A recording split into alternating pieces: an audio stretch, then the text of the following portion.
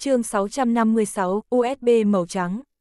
Phòng tài liệu, không gian màu trắng gần 100 mét vuông, tầng tầng khung tài liệu, để tài liệu quan trọng của khách sạn, phía trên còn có tiêu đề tài liệu, còn có lịch sử phát triển hoàn cầu, bao gồm từ các nhà lãnh đạo của khách sạn từ thời kỳ dân quốc tới hiện tại, còn có tiếp nhận công ty rõ ràng chi tiết.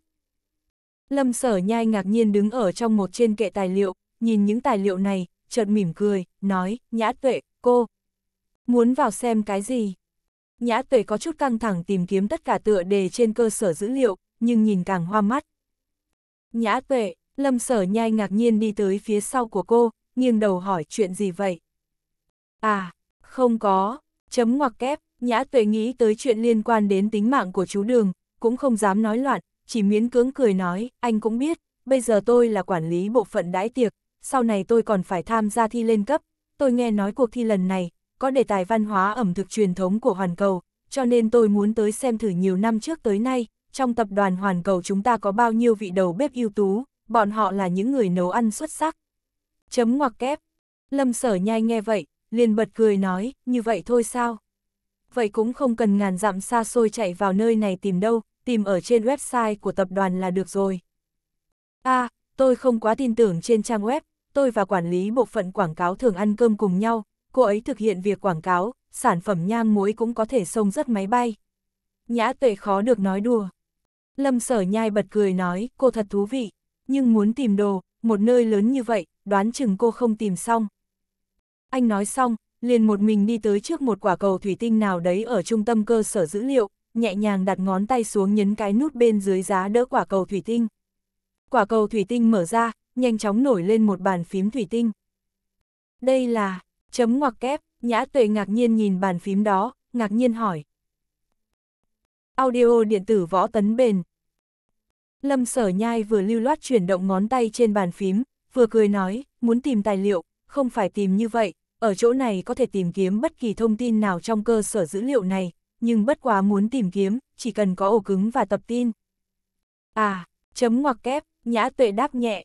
Lâm sở nhai nói xong, cũng đã lưu loát gõ bàn phím trong vòng một phút, quả cầu thủy tinh nhanh chóng phát ra bảy luồng ánh sáng, ở giữa bọn họ hai người, nhanh chóng tạo thành một màn hình quang ảnh trên không trung, giống như màn hình máy vi tính, phía trên có logo hoàn cầu, còn có công cụ gợi ý tìm kiếm liên quan, anh lại lưu loát gõ bàn phím, nhập nội dung vào giao diện kho cơ sở dữ liệu của hoàn cầu, mới hỏi cô muốn tìm tài liệu gì. À, chấm ngoặc kép, nhã tuệ có chút căng thẳng nói, tôi muốn tìm tài liệu liên quan đến đầu bếp trưởng của hoàn cầu chúng ta từ 30 năm trước tới nay. Tốt, chấm ngoặc kép, lâm sở nhai nói xong, liền ngẩng đầu lên, vừa nhìn bàn phím quang ảnh, vừa hoạt động ngón tay, gọi cơ sở dữ liệu bộ phận ẩm thực, mới nói cô không còn ở phòng ăn biển, chúng tôi thật không quen. Nhã tuệ vẫn còn đang căng thẳng nhìn màn hình quang ảnh, nghe nói như thế, sững sờ nhìn lâm sở nhai. Lâm sở nhai bật cười nói, trước kia chúng tôi đi ăn cơm, thích nghe cô đứng ở một bên, rất thoải mái hỏi hôm nay tâm trạng chúng tôi như thế nào, thích vị mặn hay vị cay, tỉ mỉ lắng nghe, phân tích xong rồi, lại thân thiết cầm thực đơn đi vào phòng bếp, thu xếp cho từng người chúng tôi. Chấm ngoặc kép, nhã tuệ đứng ở một bên, im lặng không lên tiếng.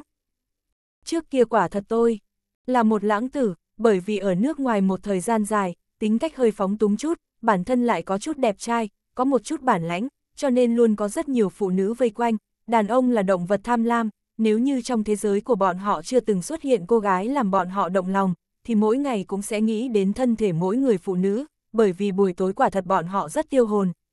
Chấm ngoặc kép, Lâm Sở Nhai tiếp tục nhập thông tin, tra tìm từng phần từng phần. Mặt của Nhã Tuệ đỏ lên.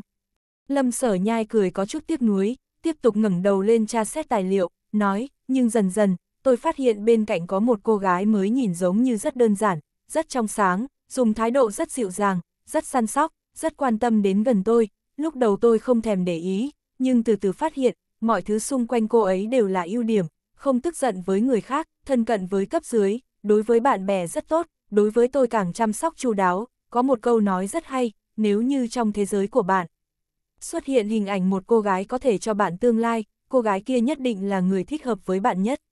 Tôi dần dần phát hiện, quá khứ hoang đàng hàng đêm, chẳng qua cũng chỉ là như thế. Thậm chí có lúc ngây ngốc suy nghĩ, nếu tôi có thể lấy được cô ấy, nắm tay đi dưới hoàng hôn, cũng hạnh phúc. Nhã tuệ nghe lời này, hai mắt chợt rưng rưng. Hai mắt lâm sở nhai lóe lên, nhớ tới đêm hôm đó bị từ chối, đến bây giờ gần như không có một ngày được vui vẻ, anh thở dài một cái, đột nhiên nhìn màn hình lớn, ngạc nhiên ủa một tiếng. Chuyện gì vậy? Nhã tuệ ngẩng đầu lên nhìn màn hình lớn. Đường Chí Long, Lâm Sở Nhai nhìn tài liệu gần 30 năm nay, giới đầu bếp trưởng của hoàn cầu có 8 người, trong đó nhiệm kỳ dài nhất là đường Chí Long, ở bên trong tài liệu, cần mật mã mới vào được bên trong, anh ngạc nhiên ngẩng đầu lên, nhìn trong tấm hình một người mặc đồng phục đầu bếp trưởng đứng ở trước bàn ăn, nhìn về nơi xa lộ ra nụ cười cơ trí, tay cầm một ly rượu đỏ, tư thế hết sức chính xác. Anh ngạc nhiên nói, người này có gì đặc biệt, tại sao còn cần mật mã mới có thể biết. Hai mắt nhã tuệ lóe lên, nhìn chú đường, lập tức dâng lên xúc động, mặc dù có rất nhiều lời muốn thốt ra, nhưng vẫn hết sức đè nén, có chút căng thẳng hỏi, tôi muốn xem tài liệu của ông ấy một chút, có thể không? Lâm sở nhai nghe lời này, suy nghĩ trong chốc lát, mới nhìn nhã tuệ bật cười nói, tôi nói, cô không phải là gián điệp chứ? Nhã tuệ sừng sốt nhìn lâm sở nhai, bất đắc dĩ nói, mới vừa rồi anh còn xúc động nói với tôi một đống lời hữu ích như vậy, bây giờ nghi ngờ tôi là gián điệp. Ha ha ha, chấm ngoặc kép, lâm sở nhai lập tức xin lỗi nhã tuệ hơi dừng lại một chút, cười nói, thật xin lỗi, tôi chỉ cảm thấy cô đột nhiên cần tài liệu cực kỳ bí mật như vậy, tôi có chút tò mò. Dù sao tôi cũng là phó tổng giám đốc của tập đoàn, công là công, tư là tư mà. Nhã tuệ mất mát nhìn anh nói, không thể xem sao. Lâm sở nhai có chút do dự nhìn cô. Ánh mắt nhã tuệ dịu dàng nhìn anh. Ôi, không nên dùng ánh mắt như thế nhìn tôi. Chấm ngoặc kép, lâm sở nhai quay đầu lại, nhìn phía dưới hình đường trí long có vòng tròn nhỏ, con chuột đang nhấp nháy, thông báo phải điền mật mã vào. Thật, không thể xem sao, nhã tuệ có một chút van xin anh, đời này cũng không có hèn hạ muốn dùng mỹ nhân kế như vậy, lúc này, cô thật muốn đưa tay kéo ống tay áo của anh. Cô muốn thăng chức à? Tôi có thể dùng cách khác giúp cô. Lâm sở nhai cười nói. Sắc mặt của nhã tuệ thu lại, nhìn anh nói, anh thật không giúp tôi à? Thật thật thật không giúp. Chuyện này, chấm ngoặc kép, lâm sở nhai không biết nên làm sao. Tôi đi đây, nhã tuệ nhị không nói gì, xoay người đi khỏi. Này, này, này, lâm sở nhai lập tức kéo cánh tay nhã tuệ, bật cười nói cô đừng tức giận mà. Nhã tuệ đưa lưng về phía lâm sở nhai, hai mắt khẽ xoay tròn, bây giờ không có biện pháp, trên mặt hơi lộ ra nụ cười dịu dàng xoay người, nhìn anh, nói, nếu như anh giúp tôi mở ra xem một chút, tôi, tôi mời anh ăn cơm. Trong mắt lâm sở nhai hơi híp lại, nhìn cô, trên mặt có chút không đè nén được nụ cười nói, mời. Mời ăn cơm. Ừm, nhã tuệ gật đầu. Cô, nói lời giữ lời đấy. Mời tôi ăn cơm, chỉ hai người chúng ta ăn, đừng giống như phim thần tượng, mang một đống lớn người theo, tôi không làm đâu. Chấm ngoặc kép, lâm sở nhai nắm cánh tay mềm mại của cô, nói lời này cũng có chút căng thẳng, thở không nổi. Phốc, nhã tuệ cúi đầu, nở nụ cười, nói, được. Chỉ hai người chúng ta ăn. Phòng ăn biển coi như xong, bất kỳ phòng ăn nào trong khách sạn Á Châu, tôi cũng không đi. Chấm than ngoặc kép, lâm sở nhai nghiêm túc nói vậy. Muốn đi nơi nào ăn, anh tự làm chủ. Nhã tuệ cười nói. Yes, chấm than ngoặc kép, lâm sở nhai siết mạnh nắm tay, trên mặt lộ ra nụ cười hưng phấn, căng thẳng, lập tức xoay người, ngón tay nhanh chóng hoạt động ở phía trên, nhập vào mật mã phó tổng giám đốc của mình. Nhã tuệ lập tức thật căng thẳng ngẩng đầu.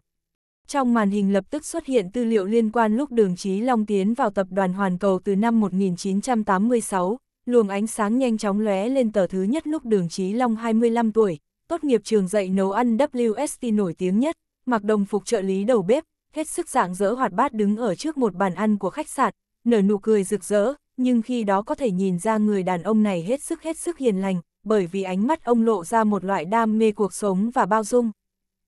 Trong lòng nhã tuệ vừa động, hai mắt lập tức kịch liệt đỏ bừng. Lâm sở nhai cũng cảm thấy có chút hứng thú với người này, nhưng cảm thấy theo kinh nghiệm của ông ta, cũng không cần mã hóa thân phận chứ. Luồng ánh sáng lại xuất hiện tờ thứ hai, là cách một năm, bởi vì đường Trí Long biểu hiện xuất sắc, mà được thăng cấp đầu bếp nhà hàng Tây, trong cùng một năm đó, ông cũng đã tham gia cuộc thi nấu ăn quốc tế ở phương Tây, giành được giải đặc biệt, chỉ thấy ông đứng ở trước khán đài trao giải, tay nâng cúp, nở nụ cười sảng lãng cảm ơn. Đường Trí Long này bất quá mới hơn 20 tuổi, có thể đạt được thành tích như vậy, thật khó được. Lâm sở nhai nhìn màn hình, cười nói. Sắc mặt nhã tuệ kích động tiếp tục xem. Luồng ánh sáng chuyển lên trước, từ từ nhìn thấy thành tích hàng năm của đường Chí Long đều hết sức kinh người, thậm chí theo số tuổi càng lớn, chức vị của ông càng cao, lúc khoảng 30 tuổi, cũng đã đảm nhận chức đầu bếp trưởng của khách sạn, cùng thời điểm đó, đề xuất ý kiến và phương án khiến cho hoàn cầu mở rộng nhà hàng Trung Quốc ở các khu vực châu Á, phổ biến văn hóa ẩm thực của Trung Quốc. Một năm sau, năm thứ hai nhận chức đầu bếp trưởng, là người duy nhất phá kỷ lục của khách sạn, phòng ăn hoàn thành doanh thu 300%. Cũng là một người duy nhất có thể dùng cổ phần tư nhân, xây dựng được nhà hàng đầu tiên của riêng mình, luồng ánh sáng đang không ngừng xoay tròn. Đường Chí Long dựa vào trí tuệ kinh người, cùng sức sáng tạo và trí tưởng tượng tuyệt vời, phòng ăn mang đến lợi nhuận không thể đo lường cho hoàn cầu, thậm chí còn ngay lúc ấy để lại tâm nguyện cả đời không thể hoàn thành, hy vọng trong tương lai, có thể ở các thôn làng lập trạm thu mua rau quả, xây dựng phương án kiểm tra tiêu chuẩn thu mua rau quả, hơn nữa còn đưa ra ý kiến, thu mua đất đai, mua ruộng muối và khu làm giấm ở khắp châu Á, còn dẫn đầu đi đến các vùng ven biển, quan sát tiêu chuẩn địa chất. Hỗ trợ hoàn cầu thu mua vườn nho, lúc ông khoảng 32 tuổi, đã tự mình hoàn thành lựa chọn nhà phân phối rượu đỏ ở khắp châu Á. Năm ấy, khi ông cùng các nhân viên Hiệp hội Rượu Đỏ giám sát chặt chẽ, thị trường rượu đỏ thuận lợi phát triển, thậm chí ngay lúc ấy, với cái nhìn sắc bén của ông, trong tương lai, ngành công nghiệp rượu đỏ của châu Á nhất định càng ngày càng tỏa sáng. Trời à, chấm ngoặc kép, lâm sở nhai nhìn ghi chép của nhân vật này, thật sự không thể tin nổi nói, hoàn cầu chúng ta lại có một nhân vật như vậy, tại sao chưa từng thấy nhắc qua. Phải nên hết sức tuyên dương mới đúng chứ. Nhã tuệ căng thẳng xem tài liệu tiếp theo của đường Chí Long. Luồng ánh sáng tiếp tục phát hình, lúc đường Chí Long đúng 32 tuổi, đã kết hôn với nhân viên phục vụ nhà hàng Tây, Lý Tú Lan, hôn lễ tổ chức nhộn nhịp mà long trọng, lúc ấy nhân vật chính trị, giới kinh doanh, còn có lãnh đạo các khách sạn dối rít đến chúc mừng, mà ông cụ tưởng và ông cụ Trang cũng mang theo gia đình tham gia. Hình hiện trường hôn lễ hiện ra. Nhã tuệ lập tức nhìn thấy chú Đường, ở hiện trường hôn lễ, người mặc lễ phục màu trắng, đẹp trai ôm nhẹ dì Lý trẻ tuổi xinh đẹp, nở nụ cười rất mãn nguyện, hạnh phúc, đứng ở trước ống kính, sau đó họ hàng hai bên chia ra, cô câu chú rể đứng ở giữa. Lâm sở nhai khẽ nở nụ cười, nhìn hình ảnh này. Nhã tuệ càng xem càng nặng nề. Thời gian trôi đi, địa vị của đường Trí Long ở hoàn cầu càng ngày càng cao, đảm nhận đầu bếp trưởng và nắm quyền quản lý bộ phận kinh doanh rượu, hơn nữa tự mình tiến hành thu mua đất đai, trồng trọt vườn nho, sau khi kết hôn được 2 năm, năm thứ tư, con trai và con gái lần lượt ra đời, khi đó, tên tuổi của ông đã hiển hách, rốt cuộc nắm giữ 5% cổ phần hoàn cầu, tham gia vào hội đồng quản trị. Ồ, Lâm Sở Nhai kinh ngạc nói, ông ấy còn là thành viên hội đồng quản trị. Nhã Tuệ cũng có chút kinh ngạc chuyện này. Luồng ánh sáng tiếp tục phát hình, con gái ra đời đầy một tuổi, đường Chí Long vì con gái chọn đồ vật đoán tương lai, cùng hai người chủ tịch ưng thuận cam kết, nếu như con gái chọn đồ vật đoán tương lai, chộp chúng tiền mặt, chủ tịch trang tặng 2% cổ phần hoàn cầu, nếu như bắt ly rượu đỏ, sẽ tặng cho công chúa nhỏ một vườn nho, mà rốt cuộc lúc công chúa nhỏ đang căng thẳng chọn đồ vật đoán tương lai, ôm lấy một ly rượu thủy tinh nhỏ, đặt ở trong tay vuốt vuốt, khoảnh khắc thú vị này chính thức mở ra cánh cửa hoàn Á tiến vào thị trường Âu Châu. Trang tính Vũ vâng theo ý kiến của cha, chính thức tiếp nhận vị trí Tổng Giám đốc Hoàn Á, đường Chí Long nhận lệnh, hỗ trợ Tổng Giám đốc Trang đón gió lướt sóng, tiến vào thị trường quốc tế. Wow, lúc này Lâm Sở Nhai cũng chấn động, hơi mất hồn đi tới trước một bước, đến gần nhìn người đàn ông trung niên cơ trí này, theo thời gian càng dài, anh có thể nhìn thấy trên mặt ông, sự bao dung rộng lớn, ánh sáng trí tuệ, nhưng không có khí thế kiêu ngạo của người thành công, giống như trong trầm ổn lộ ra khí thế chỉ tay hô mưa gọi gió, anh mất hồn nói tôi nói, người này. Thật sự là, chấm ngoặc kép, nhã tuệ cũng trở nên kích động, tự hào nhìn chú đường cả đời đáng để mình cung kính. Lâm sở nhai cũng xem say xưa, nhấn nút Enter, nhưng tư liệu kế tiếp lại nhập mật mã, anh cao mày nói, bí mật như vậy. Không thể xem tiếp à, nhã tuệ ngạc nhiên nhìn bàn phím quang ảnh hỏi.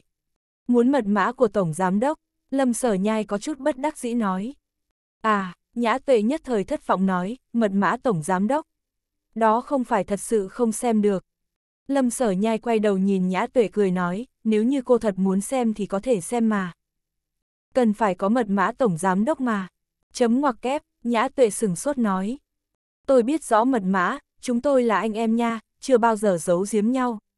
Lâm sở nhai cũng không có suy nghĩ gì, nhập vào mật mã Trang Hạo Nhiên thường dùng thân phận Tổng Giám đốc Tập đoàn Hoàn Cầu để lấy tư liệu, enter một cái, rốt cuộc lại có thể nhìn thấy một luồng ánh sáng hiện lên bề mặt, đường Chí Long ở trong đội ngũ nhà họ Trang Hoàn, toàn rời khỏi đại lục Trung Quốc, sau khi kế hoạch tiến vào châu Âu đã triển khai toàn diện, nhưng cùng lúc ông bị tố cáo lợi dụng hoàn cầu tiến hành thu mua đất đai, vườn nho thì tham nhũng khoản tiền 1,2 tỷ.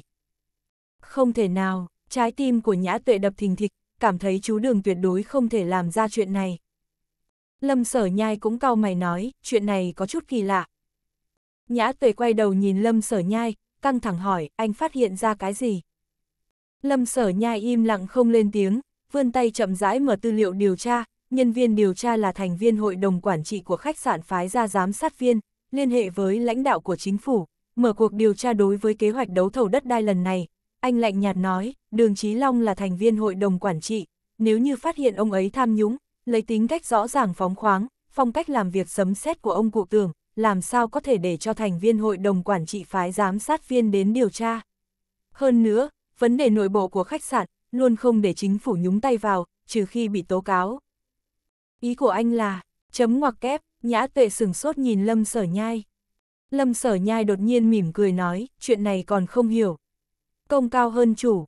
Trong lòng của nhã tuệ run lên, sắc mặt trắng bệch nói, ý của anh là, người của nhà họ tưởng hoặc nhà họ trang, vì cơ nghiệp nhà mình không bị chiếm đoạt, lập kế hãm hại đường. Đường Chí Long. Lâm Sở Nhai chỉ nhàn nhạt nở nụ cười. Đúng không? Nhã Tuệ lại nhìn Lâm Sở Nhai, căng thẳng hỏi.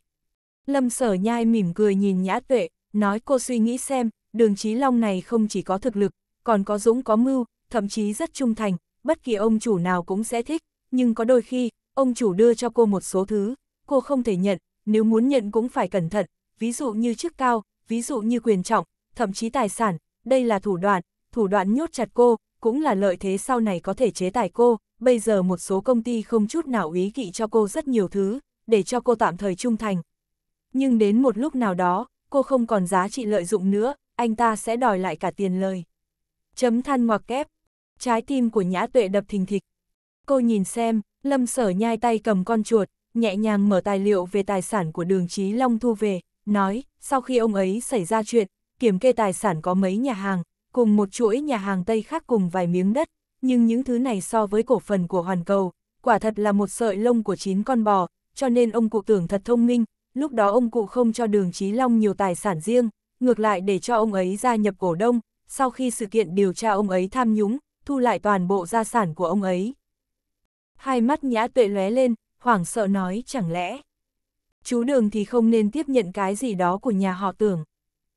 Rất nhiều chuyện không thể nói chính xác, lúc ấy xảy ra chuyện gì, thực sự chỉ có bản thân người trong cuộc mới biết.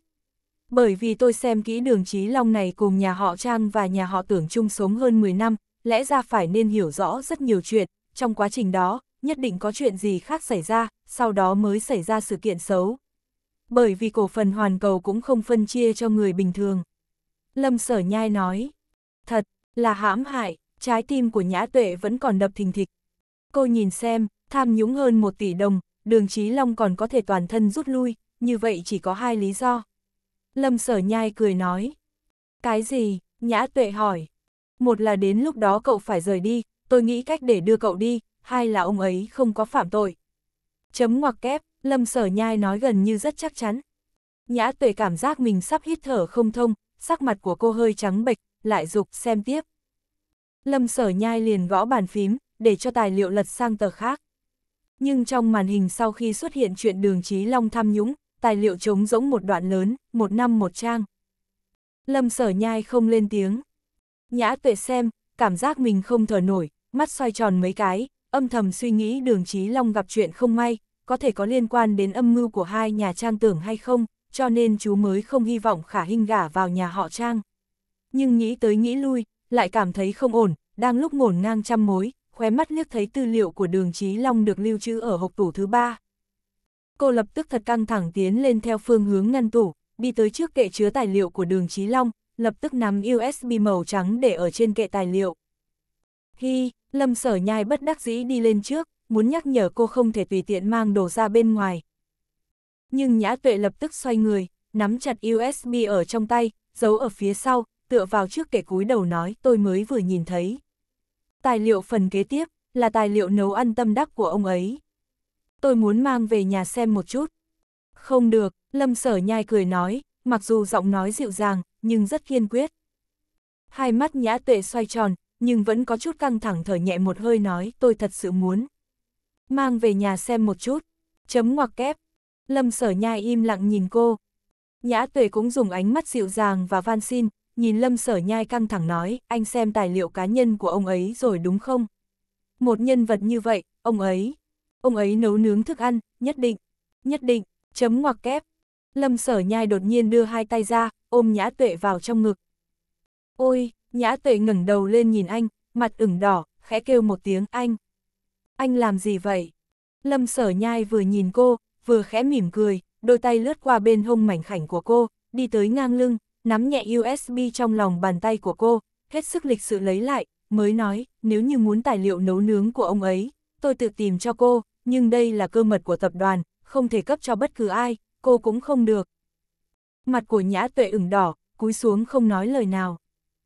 Lâm sở nhai nhìn cô một cái, mới trả USB về chỗ cũ, nắm nhẹ bả vai của cô, nói, đi thôi. Đứng lâu như vậy cũng mệt mỏi rồi. Nhã tuệ có chút không cam lòng xoay người, vẫn quay đầu lại liếc mắt nhìn hộp tủ này.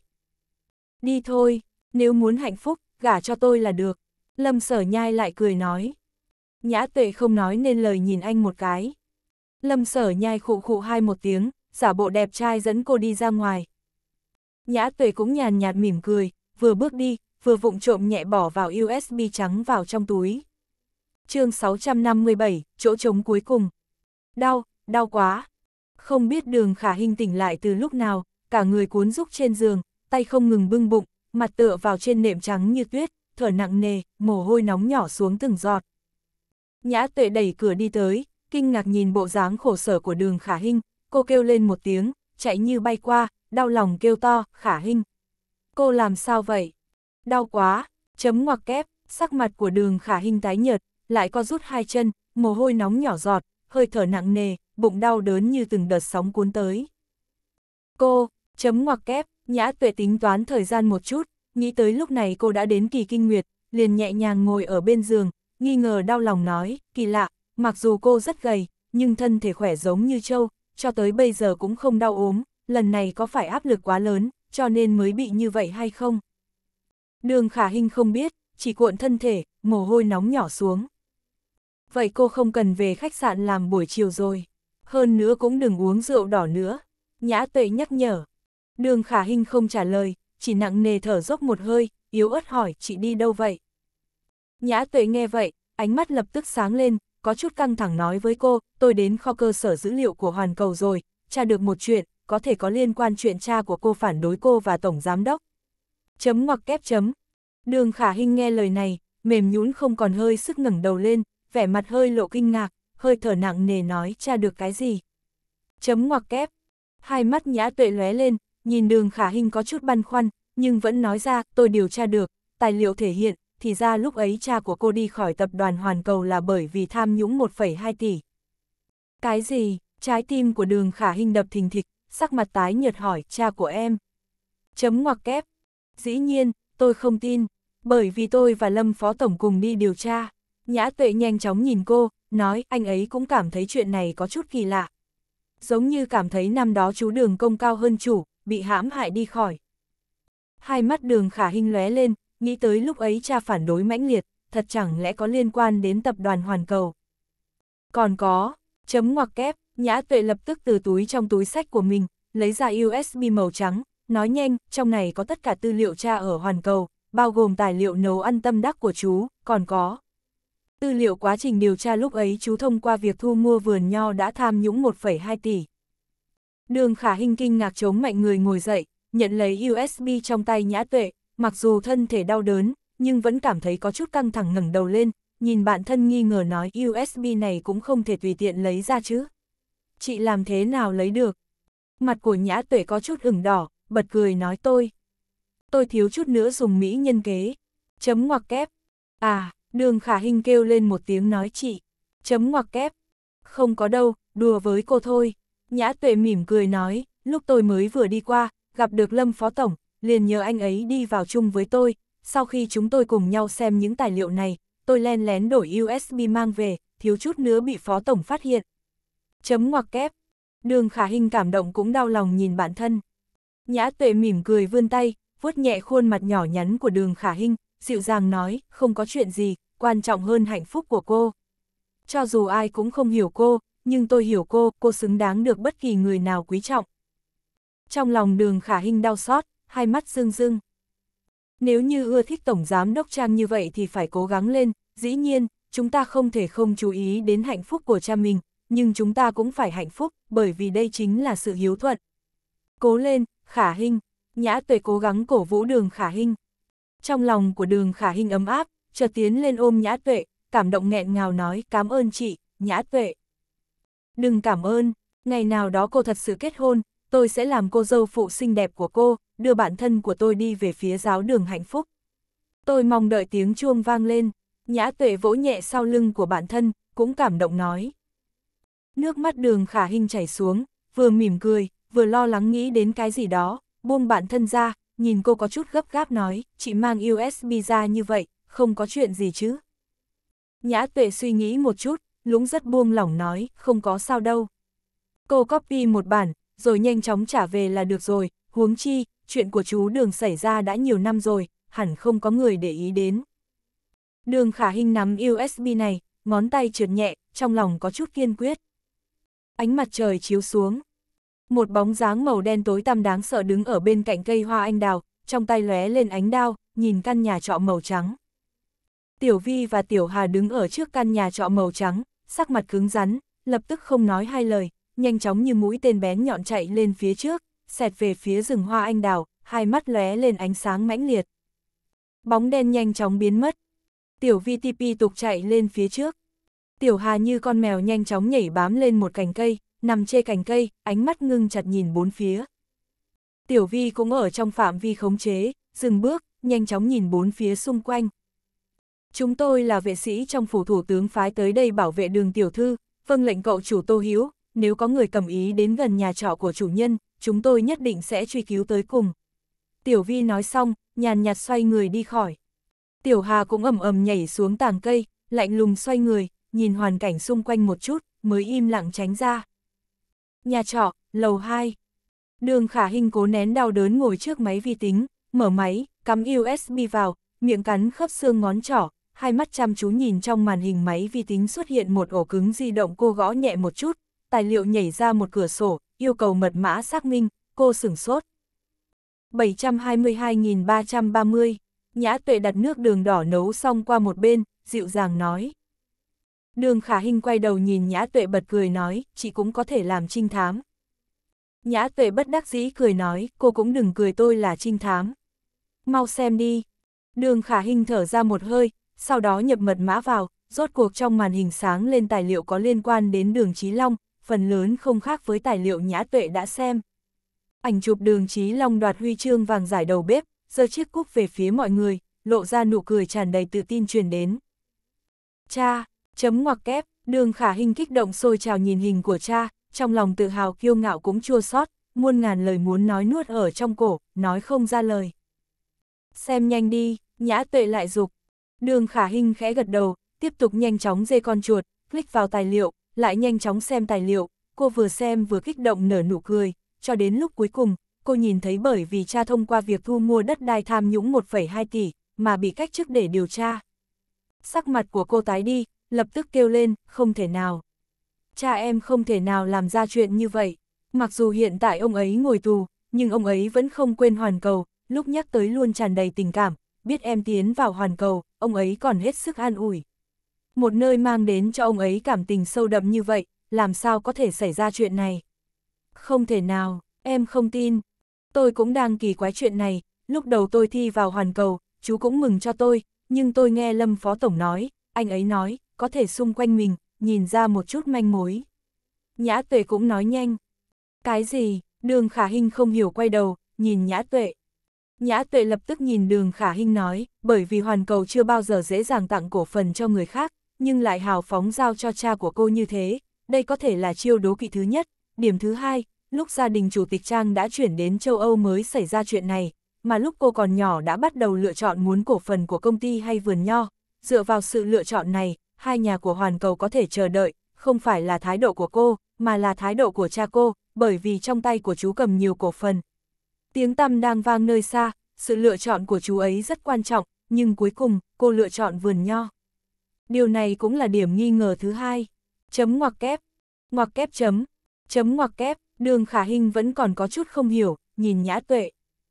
Nhã tuệ cũng nặng nề nhìn bản thân, suy đoán nói, khả năng lớn nhất chính là nhà họ tưởng và nhà họ trang xảy ra nội chiến, cổ phần là nhà họ tưởng cấp, vườn nho là nhà họ trang cấp, cô chọn vườn nho, cha của cô có thể nghiêng về nhà họ trang. Chấm ngoặc kép, trong lòng của đường khả hình run lên. Có chút sóng gió nổi lên, bây giờ chúng ta hoàn toàn không thấy rõ, nhưng tôi lại mơ hồ có cảm giác, cha của cô phản đối cô và Tổng Giám Đốc Trang ở bên nhau, là sợ cô bị tổn thương. Bởi vì chú ấy chính là vật hy sinh đầu tiên của hai dòng họ. Chấm than ngoặc kép, nhã tuệ thừa dịp trở lại, ngồi ở trên xe buýt phân tích. Hai mắt đường khả hình cũng xoay tròn, suy nghĩ chuyện này. Còn có một chuyện, chấm ngoặc kép, nhã tuệ không biết nên nói cho đường khả hình hay không. Chuyện gì, đường khả hình ngạc nhiên hỏi nhã tuệ. Nhã tuệ do dự một lát, rốt cuộc nhìn đường khả hình nói, cuối cùng lúc tôi và Lâm Phó chuẩn bị đi khỏi, phát hiện máy vi tính chưa đóng, chúng tôi liền phải đóng mới rời khỏi, nhưng Lâm Phó cảm thấy có mấy trang trống không, có chút ngạc nhiên, nên gọi điện thoại cho Tô Phó Tổng, hỏi anh ấy muốn phần mềm crack máy vi tính, cuối cùng tôi nhìn thấy, phía trên tài liệu viết rõ ràng cha của cô đã qua đời rồi. Đã qua đời, chấm hỏi ngoặc kép, đường khả hình kích động nhìn nhã tuệ kêu to, cha của em vẫn còn sống trên thế giới này, tại sao ở trong tài liệu đó, cha của em đã qua đời. Chuyện này, rốt cuộc là muốn lừa gạt người nào? Chấm hỏi ngoặc kép, nhã tuệ cũng không rõ ràng. Cha của em trung thành cả đời vì hoàn cầu. Chấm than ngoặc kép, đường khả hình quay đầu, hai mắt lóe lên nước mắt mãnh liệt, nắm chặt quả đấm, thở hổn hển nói, mặc kệ là ai hãm hại ông ấy, tại sao muốn? Nói ông ấy đã qua đời. Tại sao, em nhất định phải điều tra rõ chuyện này, bắt được người hãm hại ông, trả cho cha của em một lẽ công bằng. Chấm than ngoặc kép, chương 658, vật về chủ cũ. Tổng công ty Hoàn Cầu. Phòng làm việc chủ tịch Trang. Trang tính vũ ngẩng đầu lên, cao mày nhìn thư ký nói, không thấy USB. Đúng vậy, giữa trưa chúng tôi đi qua, phát hiện không thấy USB, mà Lâm Phó Tổng cùng quản lý lưu quản lý bộ phận tiệc, đã từng đi vào tra tìm tài liệu lúc 12 giờ 30 phút. Thư ký cung kính trở lại. Quản lý lưu, quản lý bộ phận tiệc, chấm ngoặc kép, trang tính vũ nhàn nhạt suy nghĩ một chút, liền căn dặn, tìm Thái Hiền tới đây cho tôi. Vâng, thư ký lập tức đi ra ngoài. Không đến bao lâu, tiếng gõ cửa vang lên. Vào đi, hai mắt trang tính vũ xoay tròn, suy nghĩ chuyện này. Chủ tịch, ngài gọi tôi. Lúc này Thái Hiền nhanh chóng đi tới, nhìn Trang Tính Vũ mỉm cười hỏi. Trang Tính Vũ không biết con trai biết được bao nhiêu, liền căn dặn, kho cơ sở dữ liệu của chúng ta bị mất một phần tài liệu quan trọng, USB này có dữ liệu vô cùng quan trọng, nghe nói là quản lý bộ phận tiệc cùng Lâm Sở Nhai đã từng đi vào. Chấm ngoặc kép, Thái Hiền sửng sốt, đoán chừng không đến bao lâu, sẽ có người đề phòng phát hiện, sao chép USB sẽ trả lại chỗ cũ, bây giờ nhiệm vụ chủ yếu của cậu là phái người giám sát xem người nào mang USB đi, nếu như là hai người bọn họ thì coi như xong, nhưng có người thứ ba, cũng không được bứt dây động rừng, theo dõi anh ta báo cáo với tôi, trang tính vũ nhàn nhạt căn dặn. Vâng, Thái Hiền gật đầu. Còn có, chuyện này tôi không muốn để cho Hạo Nhiên biết, cố gắng hỏi thăm xem, sở nhai biết được bao nhiêu rồi. Trang tính vũ lại căn dặn. Vâng, Thái Hiền lại gật đầu, sau đó liền hỏi, ngài còn căn dặn chuyện khác không? Rốt cuộc bây giờ chai rượu đỏ kia ở nơi nào, nếu muốn biết tung tích của nó, phải bắt đầu tìm kiếm từ đâu? Trang tính vũ cao mày nghĩ vấn đề này, thở dài một hơi. Căn nhà trọ nhỏ. Đường khả hình và nhã tuệ đi vào phòng, theo ánh đèn màu tím trong phòng, sau đó đi tới trước tủ rượu, ánh sáng trong suốt chiếu vào chai rượu đỏ ở bên trong đang nhẹ nhàng phát sáng, mặc dù có lẽ đã hơn trăm năm, nhưng nó vẫn không có chút nào cũ kỹ, ngược lại tỏa ra ánh sáng trầm ổn. Cô cảm thấy chai rượu đỏ này, chấm ngoặc kép, nhã tuệ nhìn bản thân, nói cô cảm thấy chai rượu đỏ này, có quan hệ đến chuyện trong quá khứ. Đường khả hình lắc đầu một cái, nói em không biết, em chỉ có loại cảm giác, giống như rất nhiều việc, cũng có thể bởi vì nó mà phát sinh. Lúc ấy người giao cho cô chai rượu đỏ, thật, đã chết rồi sao? Nhã tuệ lại nhìn đường khả hình, căng thẳng hỏi. Em tận mắt nhìn thấy anh ấy ngã vào trong vũng máu, khuôn mặt kinh khủng, đến bây giờ em vẫn còn nhớ, anh ấy nói, muốn em mang chai rượu này nhất định phải đưa đến trên tay ông cụ tưởng, nhưng ông cụ tưởng đã chết rồi, có phải xem chuyện này đã qua hay không? Đường Khả Hinh vẫn nghi ngờ chuyện này. Nhã Tuệ cũng phiền não im lặng. Đường Khả Hinh đang trầm tư suy nghĩ, thân thể hơi tựa vào trước vách tường, đột nhiên ngửi được một mùi chua trong khe tủ, đây là mùi chua của gỗ mới, cô bất đắc dĩ thở dài, ánh mắt đột nhiên sáng lên, nhớ tới cha đã từng nói, tương lai nếu như Khả hình có thể nếm được mùi vị này từ người nào đó, ngoài cha ra, nhất định phải hết sức cung kính họ, vì đó là người cha của con tin tưởng nhất, thậm chí tương lai họ sẽ mang tới cho con hạnh phúc.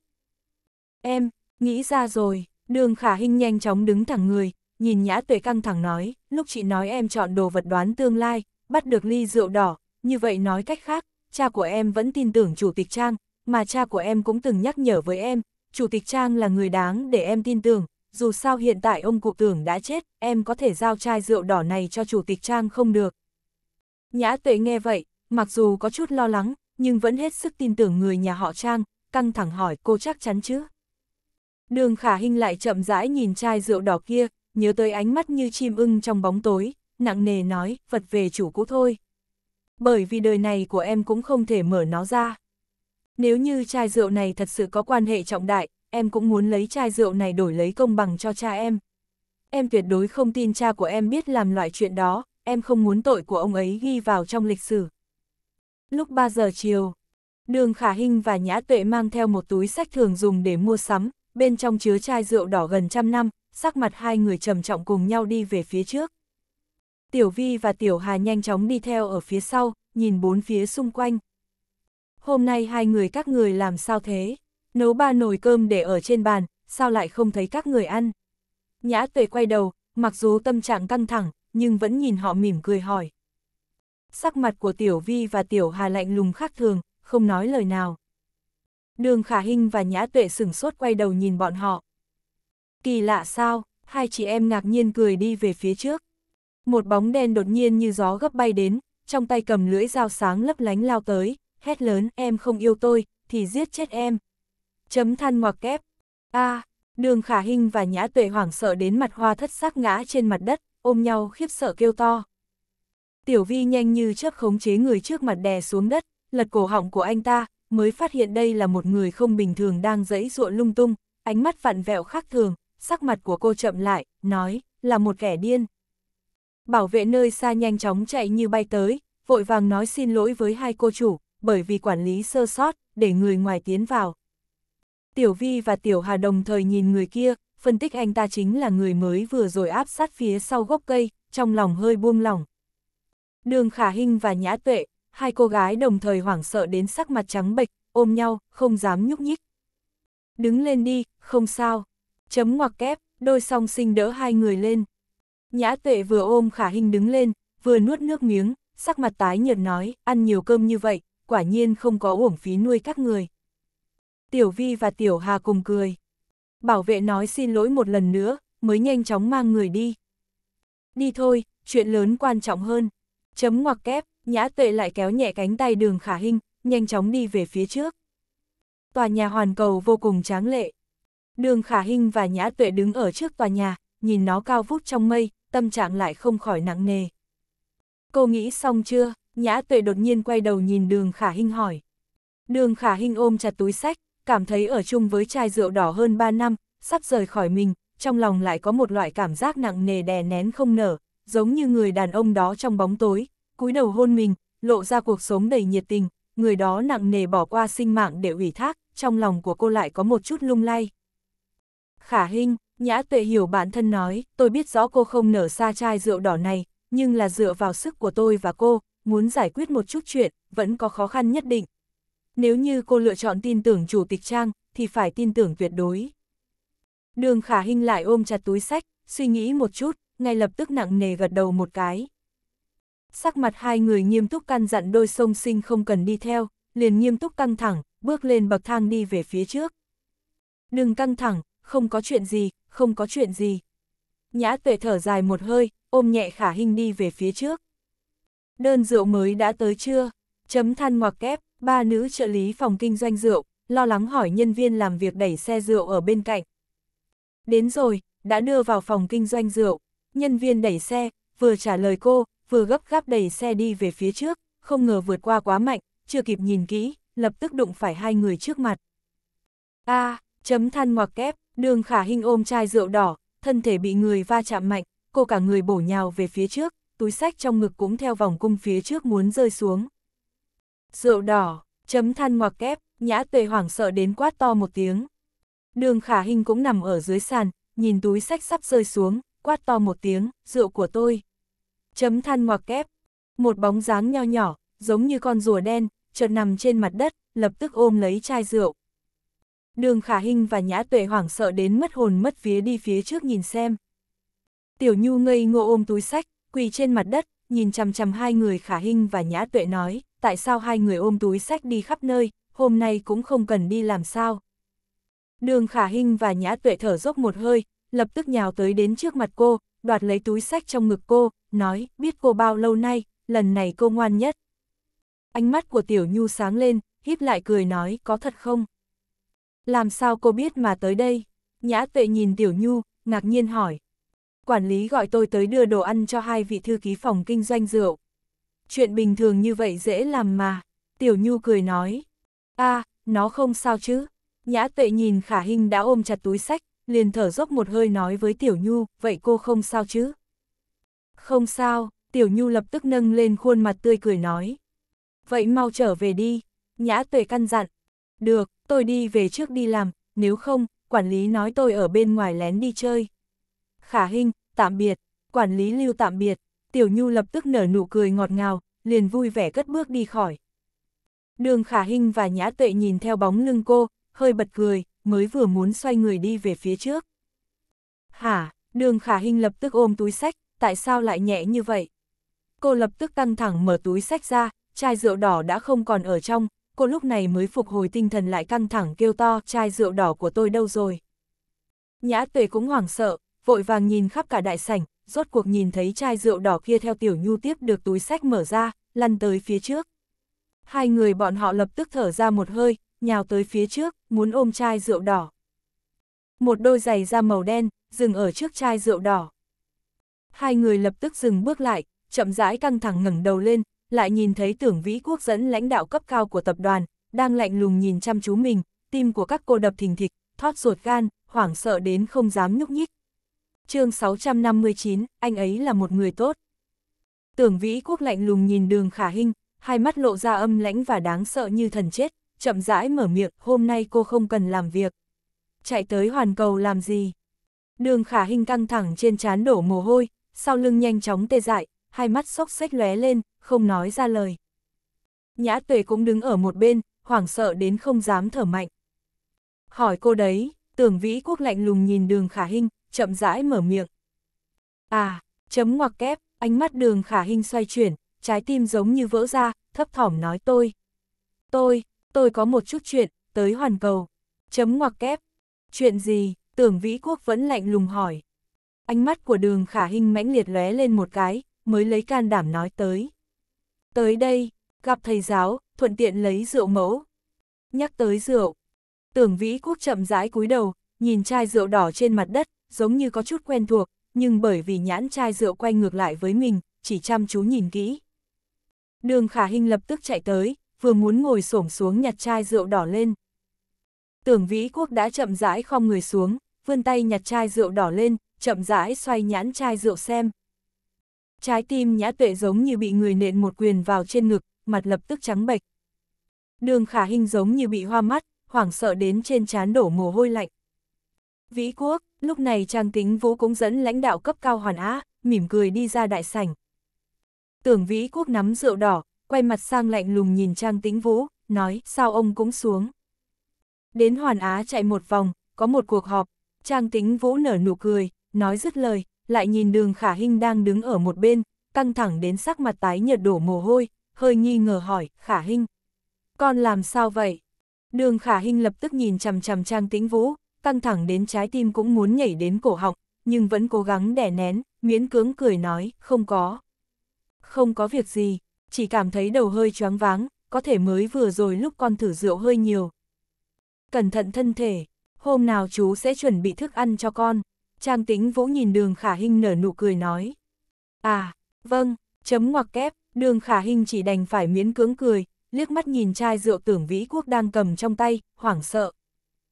Tại sao hôm nay không đi thăm thiên lỗi? Tưởng vĩ quốc nhìn đường khả hình, nhàn nhạt hỏi. Đường khả hình sững sờ, ngẩng đầu lên nhìn tưởng vĩ quốc. Tưởng vĩ quốc lạnh lùng nhìn đường khả hình, mặc dù vô cùng không thích cô gái trước mặt, nhưng cô là cô gái mà con trai thích, trải qua chuyện sống chết của con trai, rất nhiều việc cũng đã nhận ra một chút, ít nhất Tuyết Nhi là đứa bé có trái tim nhạy cảm với mọi việc cũng thích cô. Liền chậm rãi nói, có thời gian đi thăm nó đi, lúc không có chuyện gì làm, nó đều ở ngay trước mặt những người làm cha mẹ chúng tôi nhớ tới ngươi. Có thể tính tình của gì có chút không tốt, nhưng người thì không có gì, cô phải thông cảm, bà ấy là một người mẹ, lúc con cái xảy ra chuyện như vậy, bà ấy có cử chỉ kích động, cô tha thứ cho bà ấy. Đường khả hình không thể tin nổi ngẩng đầu lên, nhìn tưởng vĩ quốc. Tôi vẫn luôn không thích cô, không phải bởi vì cô là con cái nhà bình thường, có thể tôi cảm thấy khí chất trên người cô không xứng với con trai của tôi, nhưng con trai tôi thích, chúng tôi cũng không có biện pháp. Có thời gian đến nhà của chúng tôi ăn một bữa cơm. Tưởng Vĩ Quốc nói xong, liền chậm rãi đưa chai rượu đỏ trong tay giao cho đường khả hình. Đường khả hình sững sờ nhìn tưởng Vĩ Quốc, ngơ ngác nhận lấy chai rượu đỏ. Tưởng Vĩ Quốc chăm chú nhìn đường khả hình, chậm rãi nghiêm nghị nói tôi không giống người khác, nếu như tôi có yêu cầu cao đối với một người, tôi sẽ vô cùng nghiêm khắc, cô yêu rượu đỏ như vậy, nếu có một ngày, cô thật có thể giành được giải vô địch, tất nhiên phải đến nhà họ tưởng chúng tôi, điều này, tôi cũng yên tâm đối với cô. Bởi vì tôi nhìn ra được, cô là có một đứa bé có đức tin và trung thành, hiểu ý nghĩa của một chai rượu đỏ, nó không chỉ có thuộc về khách, mà còn là tình cảm của thợ nấu rượu, có lúc, truyền thừa là một chuyện nghiêm túc, tôi tin tưởng, liên quan với rượu đỏ, liên quan với tất cả mọi thứ, tất nhiên cô sẽ cẩn thận phổ biến. Đây là điều duy nhất tôi đánh giá cao về cô, cũng là điều tôi cảm thấy con trai của tôi thật tinh mắt. Chỉ mong cô có thể giữ vững nhân cách tốt đẹp này, cố gắng đi về phía trước. Ánh mắt đường khả hình chợt lóe, trong đầu lại xẹt qua hơn 3 năm trước, trong một đêm tối tăm, anh nặng nề nghiêm túc, lộ ra một loại sinh mạng minh mông và tuyệt vọng nói, tôi mới vừa nghe cô đọc tên rượu đỏ, tôi biết cô là người yêu rượu. Thời gian đã không kịp nữa rồi, rất có thể tôi sẽ gặp bất chắc. Trên người của tôi có một thứ rất quý trọng, làm phiền cô mang nó đến khách sạn Á Châu, giao vào trong tay chủ tịch tưởng, nhớ kỹ. Không được qua tay người khác, người thân cũng không được, ông ấy nhất định sẽ đền đáp cho cô. Tôi thề, đây là lần đặt cược cuối cùng trong cuộc đời tôi. Làm ơn. Vĩ Quốc, chấm ngoặc kép, trang tính vũ nhìn tưởng Vĩ Quốc, mỉm cười nói, hôm nay xem ra tâm trạng tốt hả?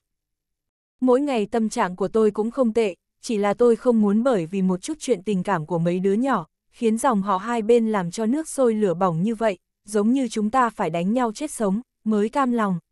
Hơn 3 triệu nhân viên của tập đoàn Hoàn Cầu chúng ta do hai đứa bé này làm chủ, nếu như có chuyện gì, làm sao không phụ lòng liệt tổ liệt tông, cho dù chúng ta xuống suối vàng cũng không trả được món nợ này. Tưởng vĩ quốc lạnh lùng nhìn đường khả hình chăm chú, giống như muốn cảnh cáo cô, mới nhàn nhạt đi ra ngoài. Trang tính vũ mỉm cười nhìn tưởng vĩ quốc xoay người đi khỏi, mới đi tới gần đường khả hình, nói, khả hình, con đừng trách bác tưởng, người cả nhà bọn họ đều là miệng cứng lòng mềm, tuy lời nói có một chút quá mức, nhưng con cẩn thận lắng nghe, đều là tình cảm. Phải tin tưởng bọn họ, chấm ngoặc kép, đường khả hình ôm chặt chai rượu đỏ trong ngực, cũng không nhúc nhích. Nhã tuệ cũng lo lắng nhìn đường khả hình, gấp gáp suy nghĩ, rốt cuộc cô muốn làm gì. Trang tính vũ nhìn vẻ mặt đường khả hình như thế, đang ngạc nhiên, liền không nhịn được cúi đầu nhìn chai rượu đỏ cô ôm trong ngực. Đường khả hình lập tức ôm chặt nó vào trong ngực, hai mắt lóe lên mãnh liệt. Khả hình, chấm ngoặc kép, trang tính vũ lại nhàn nhạt nhìn cô, quan tâm hỏi. Không có việc gì, chấm ngoặc kép, đường khả hình sâu kín nói. Trang tính vũ vẫn hơi nghi ngờ nhìn xuống cô một cái, cười cười, nói có thời gian, trò chuyện với chú một chút, chú đi trước. Chấm ngoặc kép, nhã tuệ ngây ngốc đứng tại chỗ, cảm giác trang tính vũ cùng với đám lãnh đạo cấp cao đã đi xuống, xài bước đi ra đại sảnh hoàn cầu, cô bất đắc dĩ nhìn đường khả hình, thở dốc một hơi. Buổi chiều, đường phố náo nhiệt, người xe đông đúc. Trong một tiệm mì, mùi thơm chua cay đang bay, khách lại không nhiều. Nhã tuệ bất đắc dĩ ngồi ở bên bàn ăn, nhìn đường khả hình ở đối diện.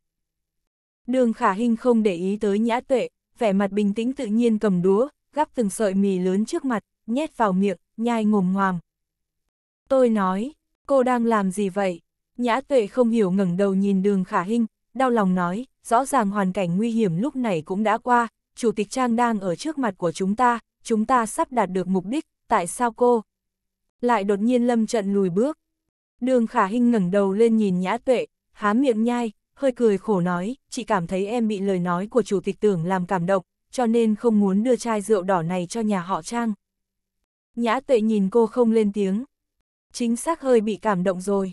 Chấm ngoặc kép, đường khả hình cầm đôi đũa, cúi đầu ăn từng ngụm từng ngụm mì, mới sâu kín nói, khó được một người lạnh lùng, vì con trai cúi thấp gặp người cầu cạnh em tới cùng. Vậy cô nghĩ như thế nào? Nhã tuệ không hiểu hỏi cô. Đường khả hình ngẩng đầu lên, nhìn nhã tuệ mỉm cười nói, em không nghĩ gì cả. Vậy tại sao không đưa rượu đỏ cho chủ tịch trang? Chấm hỏi ngoặc kép, nhã tuệ cũng sốt ruột muốn chết, cao giọng nói.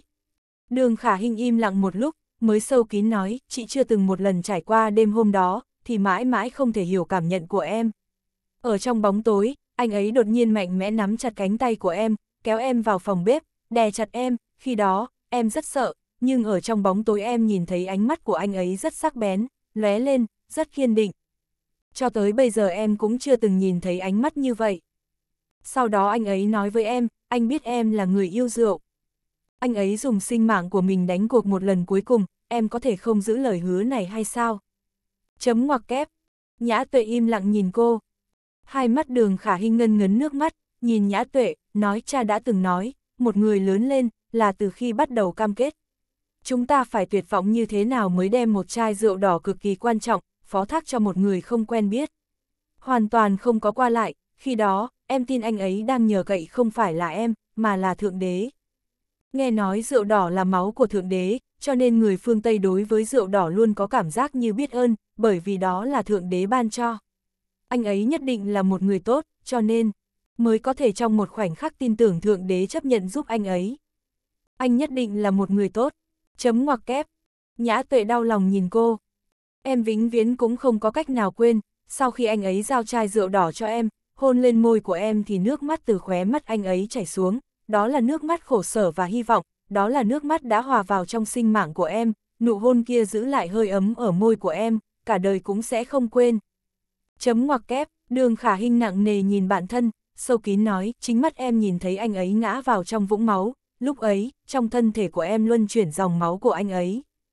Có lẽ đây thật là ý chỉ của Thượng Đế, trên thế giới này có hàng ngàn hàng vạn con hẻm nhỏ, nhưng anh ấy lại gặp em ở chỗ đó. Có lẽ đây là sự an bài của vận mạng, nếu em phá vỡ lời hứa này, trong tương lai em làm thế nào thuyết phục mình trải qua con đường đời. Bởi vì phản bội anh ấy chính là phản bội bản thân mình. Em sẽ không phản bội anh ấy, em không muốn phản bội anh ấy. Có thể lúc này, anh ấy đang ở trên trời, lo lắng đau lòng nhìn em.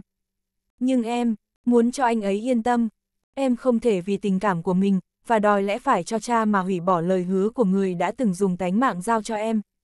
Em không thể, chấm ngoặc kép. Vậy, cô làm thế nào? Nhã tuệ quan tâm bản thân. Đường khả hình nặng nề nhìn bản thân, đột nhiên mỉm cười, nói, sẽ có cách. Đây là con đường của em, em không muốn hủy bỏ lời hứa với người khác, thành toàn cho chính mình, em không muốn như vậy. Em sẽ có cách, nhất định sẽ có. chương 660, đường tắt. Trong kho rượu, đường khả hình cảm thấy mình bụng càng lúc càng khó chịu, đau đến đổ mồ hôi hột, sắc mặt tái nhợt đứng ở trong kho rượu, trong đầu vẫn vang vọng lời cam kết của người đàn ông ở trong bóng tối đối với mình. Cô chớp mắt, nghĩ tới cha bị mang tội danh ghi vào lịch sử, trái tim của cô đau giống như bị nện mạnh, trong đầu cô vẫn không ngừng nghĩ tới nghĩ lui, sẽ có cách. Sẽ có cách. Làm gì mất hồn như vậy? Vista nhanh chóng đi tới, tay cầm một ly rượu màu đen, giơ ngay trước mắt, hỏi. Đường khả hình dừng tại chỗ, nhìn thầy giáo, miễn cưỡng cười nói, không có, tôi chỉ đang suy nghĩ, tôi muốn giải quyết một chuyện, nhưng bây giờ tôi tìm không ra cách để giải quyết, nên làm cái gì? Tôi không muốn đi đường tắt. Chấm ngoặc kép. Vitus cầm ly rượu trong tay, nhìn học trò nói cái gọi là đường tắt. Chấm ngoặc kép. Là, chấm ngoặc kép, sắc mặt của đường khả hình có chút tái nhợt, nhưng vẫn cố nén đau đớn, mỉm cười nói, chính là tìm một con đường để đi làm cho quá trình rút ngắn một chút, đi được thuận lợi hơn. Ít ra sẽ không mất phương hướng như bây giờ. Vitus nghiêm túc lạnh lùng nhìn học trò, nói cô phải nhớ, đường tắt là bẫy dập của Thượng Đế, không phải là con đường. Đường khả hình sửng sốt nhìn thầy giáo. Vitus lại nhàn nhạt cầm một chai rượu đỏ Sato Saint Christophe năm 2003, cầm dụng cụ mở chai, chậm rãi xoay, nói, sở dĩ cuộc sống có con đường đi, đó không phải là chỉ dẫn của Thượng Đế, Thượng Đế vẫn luôn ở cõi Niết Bàn, con người đi qua như thế nào là chuyện của con người. Nhưng lựa chọn đường tắt, nhanh chóng đến gần Thượng Đế, đây cũng không phải là một chuyện tốt. Bởi vì con đường này thường là chết chóc. Trong lòng của đường khả hình chấn động.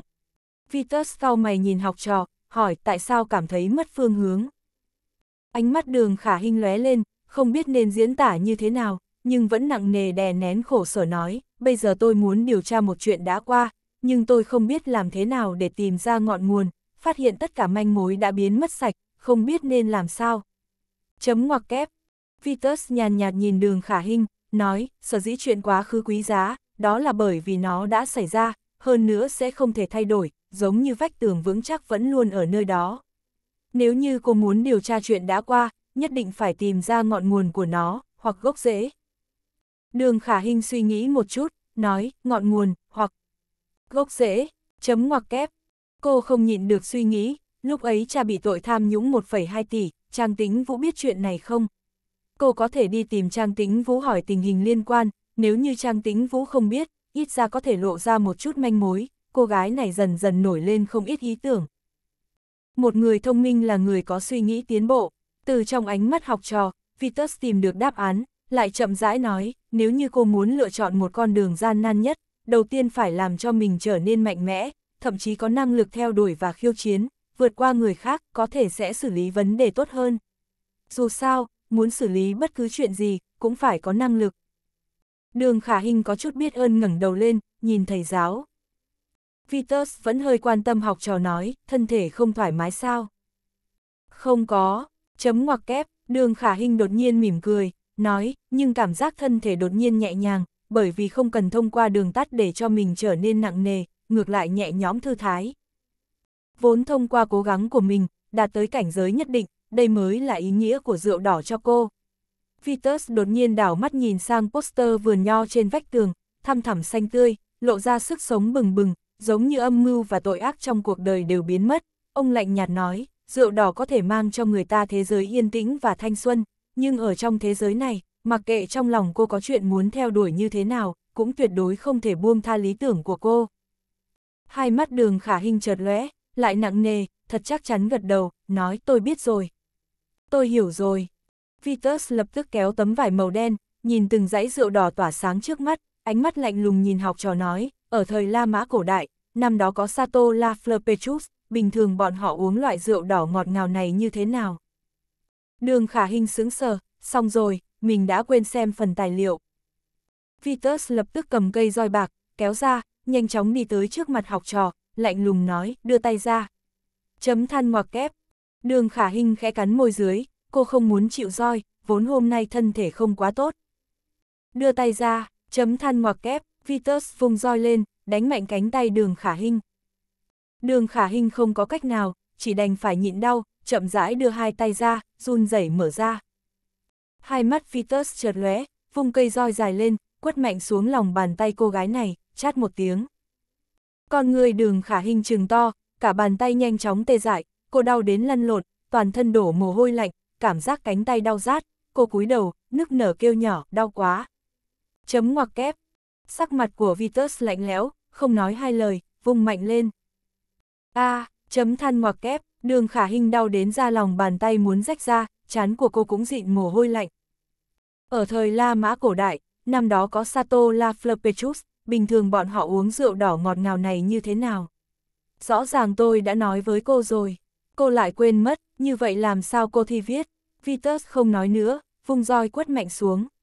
Chờ một chút, chấm than ngoặc kép, đường khả hình đột nhiên thu đôi tay lại, run rẩy nhìn thầy giáo, ánh mắt xoay chuyển, vừa suy nghĩ vừa kéo dài thời gian nói, tôi biết rõ. Đừng đánh, tôi biết rõ, tôi nhớ ra rồi, tôi thật sự thực nhớ rồi. Vitus lại lạnh lùng nhìn cô. Tôi thật sự nhớ ra rồi. Chấm ngoặc kép, đường khả hình lẩm bẩm nói xong, ánh mắt của cô sáng lên, hả hê nói tôi biết rồi. Lúc ấy bọn họ uống rượu đỏ, quen thay nước ấm hoặc nước lạnh, còn có uống nước biển. Chấm than ngoặc kép. Vitus thở dài một cái, nhìn đường khả Hinh lạnh lùng gọi, như vậy rốt cuộc cô muốn nhầm lẫn tới khi nào. Gần đây đã bỏ rất nhiều khóa học. Tôi không có, tôi chỉ không xem một buổi tối. Chấm ngoặc kép, đường khả Hinh oan ức nói. Thời gian quý giá cỡ nào cô biết không? Lần này cô đối mặt với đối thủ mạnh nhất thế giới, một đề thi, là một cơ hội. Nếu như cô thi viết cũng không qua, rất có khả năng cô sẽ dừng bước tại uống rượu trong bóng tối trước vòng thi đấu thứ ba. Vòng thi đấu thứ ba sau này mới là cuộc thi đỉnh của thế giới, bây giờ vòng thứ hai thi viết, cô còn ô ô a a, thì như thế nào? Vitus lạnh lùng hỏi. Đường khả hình im lặng không lên tiếng, nghĩ tới, đúng vậy, hiện tại quan trọng nhất là tranh tài chuyên gia hầu rượu. Tiếng gõ cửa nhẹ nhàng vang lên. Vitus vừa lạnh lùng nhìn đường khả hình, vừa đáp vào đi. Vitus tiên sinh, tưởng phu nhân mới vừa gọi điện thoại tới, nói tối nay muốn mời đường tiểu thư đến nhà họ tưởng dùng cơm tối. Thư ký cung kính đi vào nói. Đường khả hình nghe lời này, sửng sốt. Báo lại tưởng phu nhân, nói học trò của tôi không rãnh, tôi không thả người. Vitus nhanh chóng ngưng mặt nói. Vâng, chấm ngoặc kép, mặc dù thư ký có chút cố kỵ, nhưng vẫn chậm rãi lui ra ngoài. Bắt đầu từ hôm nay, cô chuyển đến nhà tôi, ở chung với tôi. Mỗi tối, hơn 8 giờ không về nhà, cô vĩnh viễn không còn là học trò của tôi. Vitus nói nhanh. À, chuyển đến, chấm ngoặc kép, đường khả hình nghe lời này sững sờ. Thân thể của cô có quá nhiều năng lượng dư thừa, tôi muốn cô nhanh chóng giải quyết nó. Vitus nhàn nhạt nâng một ly rượu đỏ, nhìn học trò nói, trên bàn này có khoảng 17 loại rượu đỏ, tìm ra X Châu, năm 2003. Vâng, đường khả hình nghe lời này, chỉ đành phải gật đầu. Vitus không nói gì thêm, chỉ nhàn nhạt đi ra kho rượu, trước khi đi khỏi, nhìn học trò đứng ở trước từng hàng ly rượu đỏ, chợt cầm miếng vải đen che kín hai mắt của mình, trên mặt của ông lộ ra nụ cười an ủi. Hoàng hôn, trời có mưa, một chiếc Mercedes-Benz màu đen chậm rãi dừng ở trước khu dân cư cao cấp, đường Ngô Đồng. Vitus từ trong xe nhanh chóng xuống xe, đi về phía nhà của mình. Đường khả hình cũng che dù, kéo dương hành lý, đi theo sau lưng thầy giáo, vừa nhìn về phía rừng núi trùng điệp lộ ra nóc nhà màu vàng, đỏ, xanh, vừa cảm thán ở đô thị hiện đại, còn có nơi như tiên cảnh. Lúc này bác dịch đã sớm che dù, lạnh lùng đứng ở trước căn nhà hai tầng, chờ đường khả hình. Bác dịch tiên sinh, đường khả hình nhìn bác dịch, ngạc nhiên gọi. Bác dịch cũng không có nhìn đường khả hình, chỉ nhìn Vitus cung kính gật đầu. Peters cũng nhìn về phía anh gật đầu một cái. Đường khả hình chống dù, nhìn hai người bọn họ, đang nghi ngờ tại sao bọn họ hẹn nhau. Ban đêm, mưa ngừng rơi, ánh sao rực rỡ. Lầu cuối, 70 ngọn nến chậm rãi lay động. Đường khả hình ngâm nước thuốc xong, chân nửa người, nằm ở trên giường nhỏ, mặt dán nhẹ vào một bên, lại bắt đầu có chút căng thẳng. Bác dịch cầm kim châm dài trong tay, vừa nhẹ nhàng lau kim châm lên vải, nói, vòng thi đấu thứ hai này, 10 đối thủ, từng người đều là đỉnh cấp thế giới, trừ cô ra. Đường khả hình im lặng không lên tiếng. Tuyển thủ do Hạo Nhiên và Tổng Giám Đốc Tưởng lựa chọn ra, tất cả bọn họ đều tốt nghiệp trường học rượu đỏ, cho nên căn bản cũng không sợ thi viết, mặc dù cô có một chút thông minh, nhưng kiến thức cơ bản không đủ vững chắc, cho nên phải thi cẩn thận, nếu như vượt qua, cô có thể chạm vài cánh cửa thi vòng thứ hai, nhìn thấy rất đông người. Bao gồm Hạo Nhiên, Tổng Giám Đốc Tưởng, tôi, còn có một đám giám khảo khác.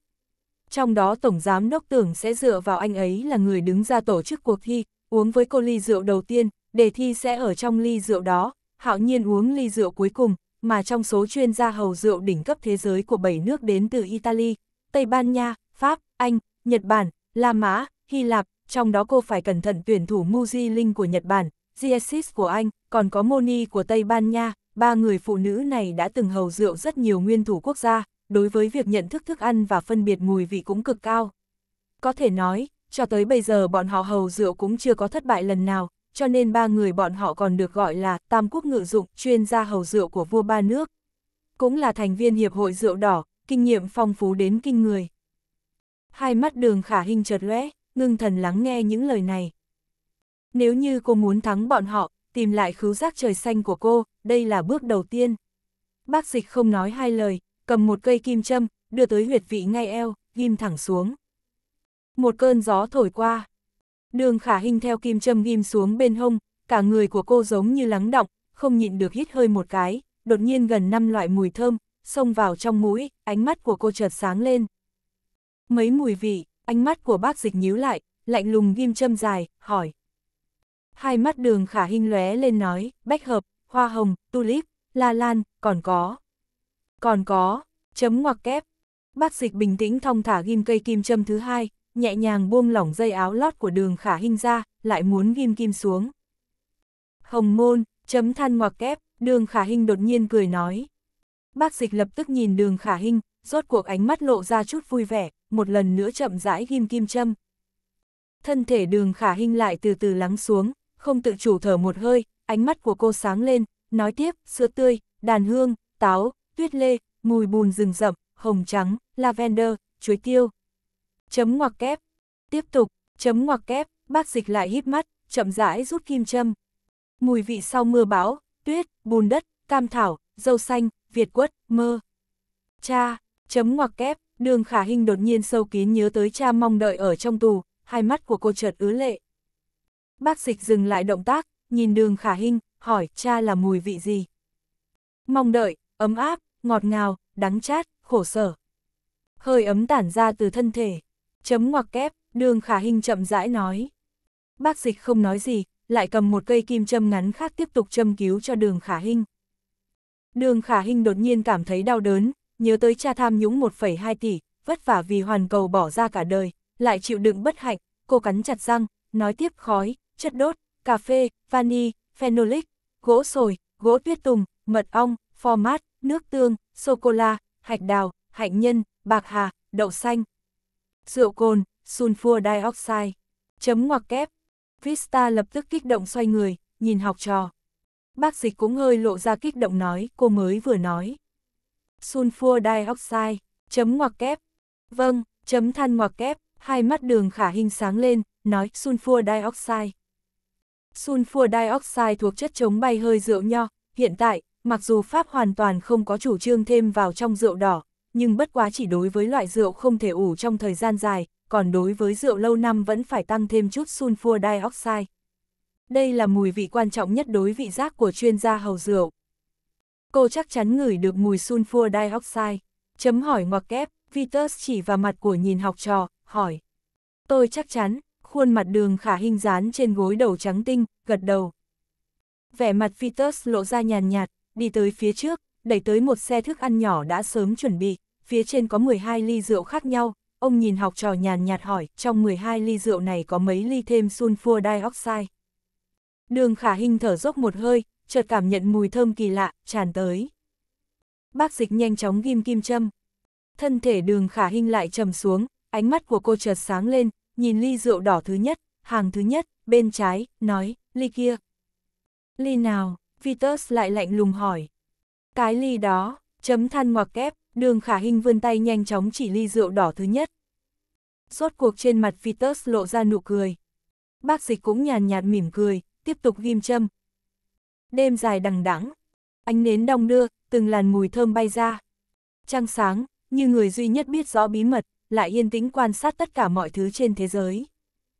Thời gian yên lặng trôi qua, cho đến khi ánh sao mai lộ ra. Cánh cửa căn phòng nào đó ở lầu 2, phịch một tiếng đẩy mạnh ra.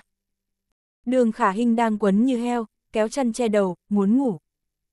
Vitus lại cầm cây roi thật dài, nhanh chóng đi tới, vươn ra quất mạnh lên bàn chân nhỏ nhắn của cô.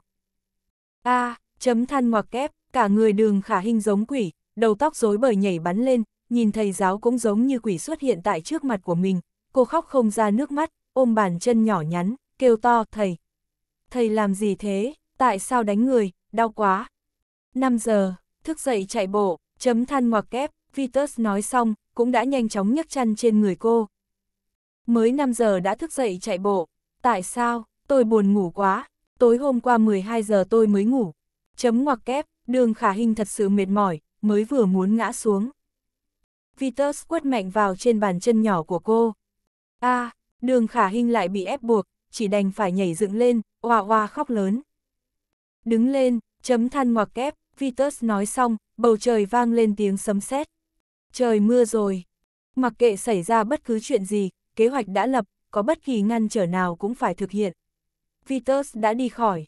Đường khả hình không có cách nào, chỉ đành phải nước nở rời giường, đi vào phòng tắm, rửa mặt xong, mặc quần áo thể thao, mặc áo mưa, đi xuống lầu một, nhìn mưa gió sấm sét ngoài cửa, vẫn tối tăm một mảnh, cô bất đắc dĩ. Đi, chấm than ngoặc kép, Vitus mặc quần áo thể thao màu đen, kéo cao khóa kéo nơi cổ, trải tóc gọn gàng, vẫn phong độ thân sĩ nhìn cô.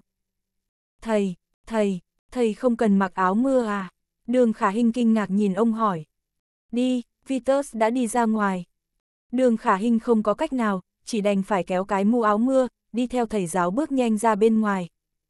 Một tiếng sấm ủng ủng vang lên, mưa to chút xuống. Vitus không chút sợ hãi mưa gió, nện bước mình từ trước đến giờ vững vàng ngắn bước tốc độ, chạy về phía trước. Đường khả hình vừa chạy theo bên cạnh thầy giáo, ánh đèn đường hơi yếu, nhìn cả người thầy giáo đã ướt đẫm, mưa chút xuống, chảy qua đôi mắt nóng bỏng kiên định của ông, ánh mắt của cô chợt lóe, từ trên người thầy giáo, nhìn thấy hình ảnh một người đàn ông khác, lúc anh đối mặt với mưa gió, mặc quần áo thể thao màu trắng, khuôn lạnh lùng chạy về phía trước, ánh mắt nóng bỏng. Trong lòng của cô nóng lên, đột nhiên kéo cái mũ áo mưa xuống, cởi áo mưa vứt bỏ, cùng thầy giáo vững vàng nhịp nhàng chạy về phía trước. Vitus quay đầu, nhìn học trò. Đường khả hình cũng nhìn thầy giáo, đột nhiên mỉm cười. Hai bóng dáng, cứ chạy dọc theo con đường rừng núi uốn lượn. Cô có biết tại sao thầy rất thích cô không? Tại sao? Bởi vì cô là đứa bé có đức tin, chỉ cần có đức tin, cô mới có thể dũng cảm tiến tới, không sợ hãi. Mọi thứ trên thế giới này rất phức tạp, muốn đơn giản, không phải trốn tránh phức tạp, mà làm cho linh hồn sạch sẽ. Cô muốn làm một chuyên gia hầu rượu thành công, linh hồ cô nhất định phải trong sáng, như vậy mới có thể thử ra mùi vị nguyên thủy nhất của nó. Audio điện tử võ tấn bền chương 661, sai phái. Một bài cổ tranh, sóng gợn, trượt vang lên ở trong đêm tối. Gần 320 ngọn nến, ở 7 ngày châm cứu cuối cùng trượt sáng lên, đong đưa bồng bình xung quanh. Thầy, bác dịch tiên sinh, tại sao phải giúp tôi?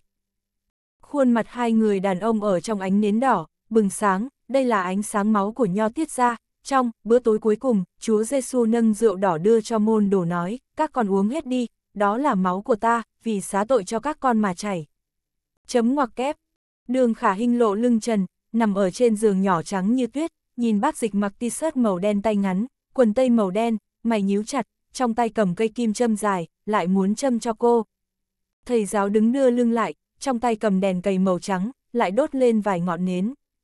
Thân thể của cô chợt nổi lên kích động, nhìn hai người bọn họ. 330 ngọn nến, bay ra 330 mùi hương, chậm rãi theo gió từ từ bay đến. Bắt đầu đi, chấm ngoặc kép, bác dịch nói xong, vẫn nhíu mày thật chặt, chậm rãi ghim kim châm ở trên phần lưng trắng như tuyết của đường khả hình. Đường khả hình khẽ nhắm mắt lại, mới vừa muốn thở mạnh.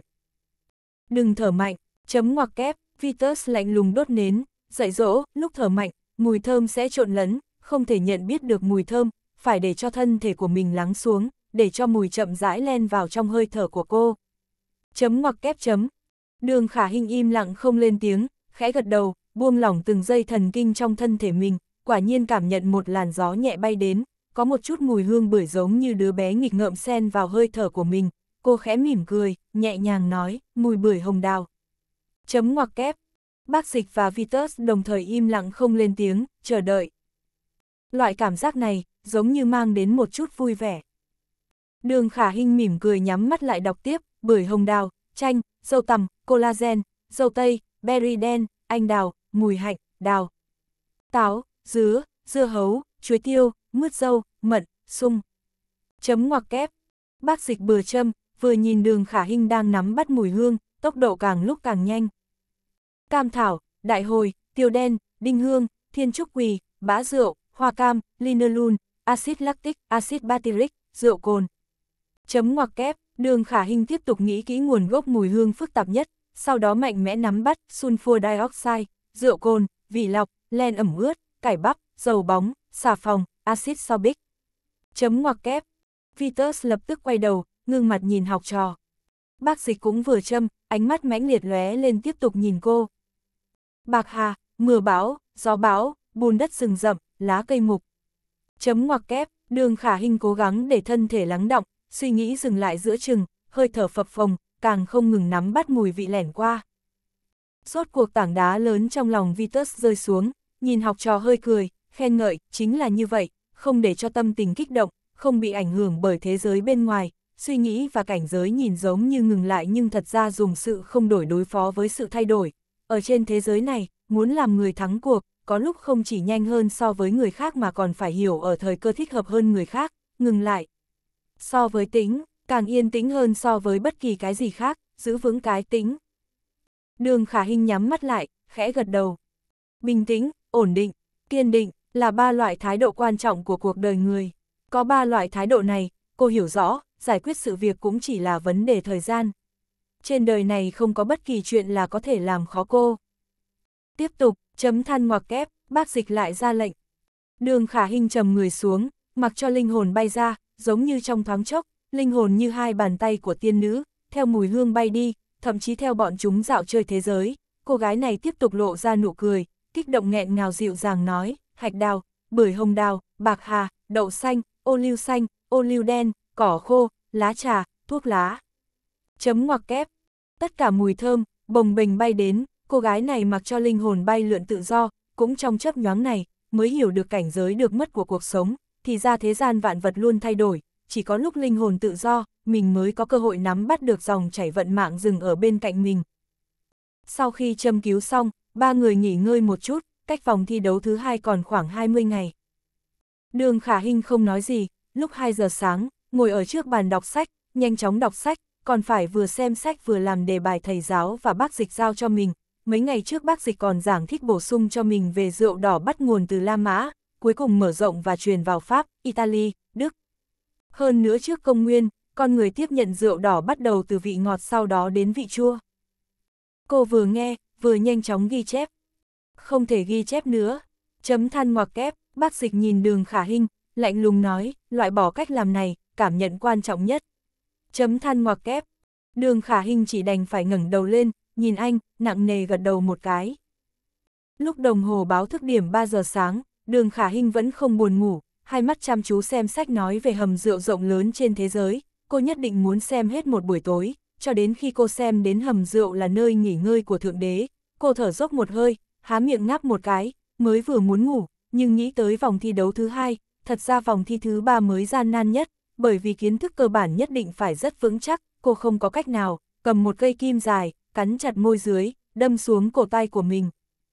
A, chấm than ngoặc kép, đường khả hình đau đến giơ tay lên, nhìn cổ tay mình nhỏ máu, cô thở dài một hơi, cúi xuống hút máu của mình. Lúc đang nếm mùi máu tươi, không khỏi nghĩ tới thầy giáo đã từng nói, người Hy Lạp thời cổ đại đã từng có nghi thức tôn giáo, nhỏ máu vào rượu đỏ cùng nhau thưởng thức, bọn họ chính thức gọi nghi thức này là chúc tạ, hay gọi là tạ ơn. Chấm ngoặc kép, tạ ơn, chấm ngoặc kép, đường khả hình buông bàn tay nhỏ bé của mình, nhìn dấu kim nho nhỏ nơi vị trí cổ tay đã tiêu mất, khóe miệng của cô còn giữ lại một chút mùi máu tươi, thầm nghĩ hai chữ này. Cô khẽ nhăn mày, có chút không hiểu, liền lật xem lịch sử phát triển có liên quan người Hy Lạp. Thời gian từng phút từng phút trôi qua. Lúc 4 giờ sáng, ánh bình minh bừng lên từ phía trên chân trời. Vitus cầm ly sâm, từ lầu một đi tới, thấy phòng học trò đang mở đèn, liền chậm rãi đi tới trước cửa, xuyên qua khe cửa, nhìn bóng lưng nho nhỏ của học trò, nằm ngủ ở trên bàn đọc sách, tay trái nắm bút, tay phải nắm một góc quyển sách, ông chăm chú nhìn cái bóng lưng kia, chậm rãi cười, tay kéo nhẹ cửa phòng, để cho cô nghỉ ngơi thật tốt.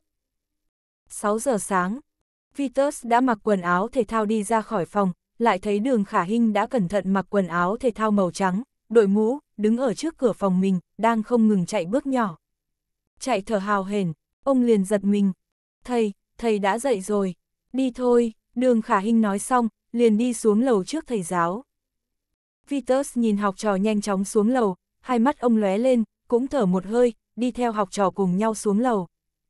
Tiếng bước chân nhịp nhàng, thong thả, từ bên kia núi nhẹ nhàng truyền đến.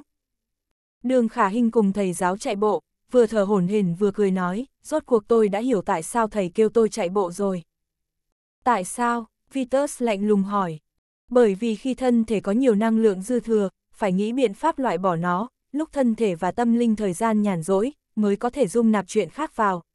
Tôi mới phát hiện, mệt mỏi cũng là một chuyện tốt, trong quá trình này, có thể chút bỏ rất nhiều gánh nặng.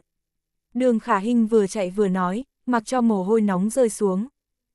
Vitus chỉ cười. Tại sao tôi có cảm giác rất chờ mong cuộc thi đấu lần này? Tại sao tôi có cảm giác cuộc thi đấu như vậy kéo dài thật tốt? đường khả hình đột nhiên cười nói. Chỉ cần cuộc đời của cô không ngừng tiến bộ, thế giới xung quanh cô mới xuất hiện những người ở lĩnh vực khác nhau đến khiêu chiến với cô. Nếu như cô xem nó là chiến thắng của mình, quá trình này sẽ có một chút thú vị. Chấm ngoặc kép, Vitus nói. Đúng vậy, chấm than ngoặc kép, đường khả hình lại thở hổn hển chạy về phía trước, hai mắt nóng bỏng nói cuộc sống. Chính là một quá trình thú vị, chấm than ngoặc kép. Thời gian qua một ngày. Mới đó mà vòng thưởng rượu sắp bắt đầu, lần đầu tiên từ trong tay thầy giáo, đường khả hình nhận lấy trách nhiệm tổ chức buổi thưởng rượu lần này. Tôi, tôi, tôi phụ trách, đường khả hình nhìn thầy giáo, kinh ngạc nói, hiện tại tôi. Tôi không có kinh nghiệm chủ trì tiết mục to lớn như vậy. Tôi, chấm ngoặc kép. Lauren mỉm cười ngồi ở bàn làm việc đối diện, hơi xoay người lại, nhìn đường khả hinh nói, đừng căng thẳng, tới tham gia tiệc thưởng rượu lần này có tất cả loại rượu nho cũ mới trên thế giới. Chúng tôi cũng đã chuẩn bị xong, cô chỉ cần dựa vào kinh nghiệm làm việc tại phòng ăn, xem thử có loại rượu mới, cô cần thêm vào hay không. Tiệc thưởng rượu lần này, mục đích là đề cử tất cả các loại rượu nho của khách sạn chúng ta với thế giới. Công việc này nói dễ làm cũng không dễ, chẳng qua tôi và thầy của cô đã lớn tuổi, phải giữ lại một chút cơ hội cho người trẻ. Chấm ngoặc kép. Nhưng, chấm ngoặc kép, đường khả hình vẫn còn có chút lo lắng. Vitus lại lạnh lùng đem một phần tài liệu, ném tới trước bàn nói, tiệc thưởng rượu lần này sẽ do tập đoàn Hoàn Á và Á Châu cùng tổ chức, cô phải mang phần tài liệu này cho hai vị tổng giám đốc ký tên, mới có thể điều động tiền bạc và xin địa điểm. Nhanh chóng làm chuyện này cho xong đi. Ngoặc kép chấm, chấm ngoặc kép, đường khả hình vẫn nhìn phần tài liệu kia. Vitus sau mày không vui ngẩng đầu lên nhìn đường khả hình. Đường khả hình lập tức bật cười, liền vội vàng tiến lên, nhận lấy tập tài liệu, nói, vâng. Chuyện này để tôi đi làm. Cô chỉ có ba ngày, thử dựa vào chính mình, dùng cái đầu nhỏ thông minh của cô, làm một chút chuyện cho tôi xem. Vitus đã cúi xuống, chăm chú xem tài liệu. Vâng, chấm than ngoặc kép, đường khả hình chỉ đành phải ôm tài liệu, cười miễn cưỡng nhận lấy tài liệu, gật đầu nói, để tôi đi làm. Chấm than ngoặc kép, chương 662, tất cả vào lỗ. Đại sảnh khách sạn Á Châu. Đường khả hình mặc chiếc áo màu xanh nhạt không có tay, quần ống lửng màu trắng bó sát người, mang giày cao gót màu trắng, ôm tài liệu đi xuống chiếc Mercedes màu đen, Vitus nghĩ tới mấy ngày nay học trò có thể rất vất vả, liền để cho cô được đi xe chuyên dụng của mình ba ngày. Cô im lặng đứng ở trước thảm đỏ khách sạn, nhìn khách náo nhiệt đi đến đại sảnh không dứt, nghĩ tới đã 10 ngày mình không có tới khách sạn Á Châu, vẫn không có tin tức của Trang Hạo Nhiên, cũng bởi vì bị thầy giáo quản lý chặt, cũng không có đi thăm tưởng thiên lỗi. Khả Hinh, chấm hỏi ngoặc kép, lúc này Trần Mạn Hồng từ trong đại sảnh đi ra, nhìn thấy đường Khả Hinh, vui mừng cười nói, lúc này, sao cô có thời gian tới đây? Thật lâu cũng không có gặp cô, Nhã Tuệ nói cô bị thầy giáo giam lại thật lâu, xem ra tinh thần thoải mái hả? Đường Khả Hinh nhìn thấy Trần Mạn Hồng, cũng cười rộ lên nói, đúng vậy, bị thầy giáo giam, có thể nói do thời gian trước tôi không ngoan thôi. Tôi mới vừa tiếp nhận nhiệm vụ thầy giáo giao cho tôi, không biết nên làm sao đây. Nhiệm vụ gì vậy? Trần Mạn Hồng tò mò nhìn đường Khả Hinh, hỏi. Thầy giáo muốn tôi phụ trách tiệc thưởng thức rượu đỏ lần này. Vẻ mặt đường Khả Hinh lập tức lộ ra khó khăn, nói. Thật à, Trần Mạn Hồng không thể tin nổi bật cười nói, đây chính là chuyện cực tốt. Nhưng tôi không có ý tưởng. Chấm ngoặc kép, đường Khả Hinh có chút khó khăn nói. Chuyện này cũng không dễ làm. Trần Mạn Hồng cười nhìn đường Khả Hinh nói, chị em tốt của cô, Nhã Tuệ là quản lý bộ phận tiệc, tất cả mọi chuyện lớn nhỏ, cô ấy đều làm qua, sẽ nhắc nhở cho cô. Ánh mắt của đường khả hình sáng lên, bật cười nói, đúng vậy, tại sao tôi không có nghĩ đến chị ấy nhỉ? Bận tối mày tối mặt hả?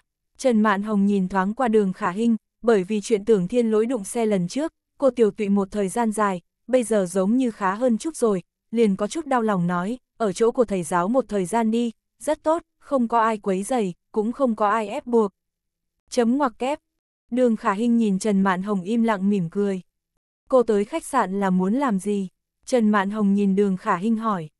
Tôi tới tìm Tổng Giám Đốc ký tên, hai vị Tổng Giám Đốc đều ký tên.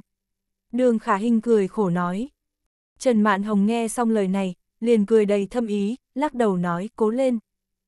Ừ, chấm ngoặc kép, đường khả Hinh ôm tài liệu, chỉ đành phải gật đầu, sau đó tâm trạng có chút rất trầm trọng đi về phía trước, nghĩ tới lần trước, ở nhà Trang Hạo Nhiên, sau khi mình nhận điện thoại của tưởng thiên lỗi liền đi khỏi, biết có lẽ lúc đó cảm xúc của Trang Hạo Nhiên không tốt, cũng biết mình không thể quấy rầy anh nữa.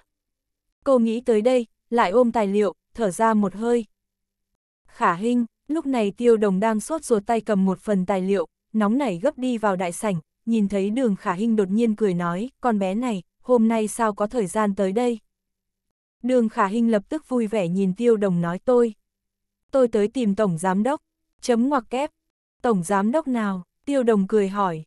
Tổng Giám Đốc Trang, đường Khả Hinh nghe tiêu đồng cố ý trêu mình, cũng cố ý hé miệng cười nói a à, tìm Tổng Giám Đốc Trang sao? Tiêu đồng cố ý cao giọng nói, nhìn đường Khả Hinh, không khỏi nhớ tới chuyện ăn cơm ở nhà Trang Hạo Nhiên ngày đó, bật cười nói, nhưng làm thế nào? Tổng Giám Đốc Trang không có ở phòng làm việc. Đường Khả Hinh sững sờ, hỏi, anh ấy đi đâu?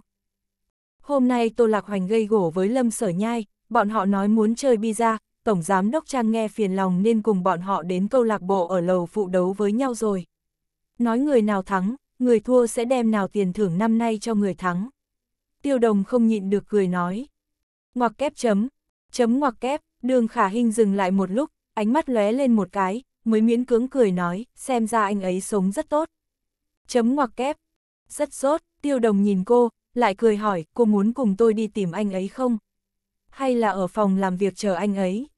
Đi tìm anh ấy đi, buổi chiều tôi còn có việc. Chấm ngoặc kép, đường khả hình bật cười nói. Tốt, đi thôi, tiêu đồng lập tức nắm chặt cánh tay đường khả hình, cùng với cô cười nói đi về phía trước. Câu lạc bộ Pizza nằm ở lầu phụ thứ hai, chiếm 6 tầng, có câu lạc bộ ngôi sao, câu lạc bộ VIP, còn có câu lạc bộ Bạch Kim. Bọn Tô Lạc Hoành ở câu lạc bộ Bạch Kim, lầu 8.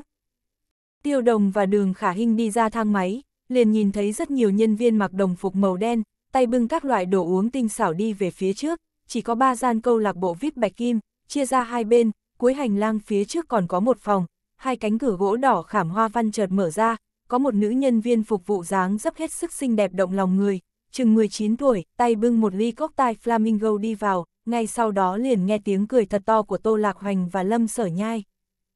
Đi thôi, tiêu đồng lập tức kéo đường khả hình cười đi vào trong. Đường khả hình vừa ôm tài liệu bước đi, nhìn hai cánh cửa đóng chặt, trái tim không khỏi nhảy lên. Hai nhân viên giữ ở ngoài cửa nhận ra tiêu đồng, biết cô tới, liền lễ phép duỗi tay về phía trước, đẩy nhẹ cửa ra. Tiêu đồng và đường khả hình mỉm cười đi vào, liền nhìn thấy nữ nhân viên phục vụ rất xinh đẹp đang bưng ly flamingo, đỏ mặt đứng ở bên cạnh Trang Hạo Nhiên, đang ngẩng đầu lên mất hồn nhìn anh.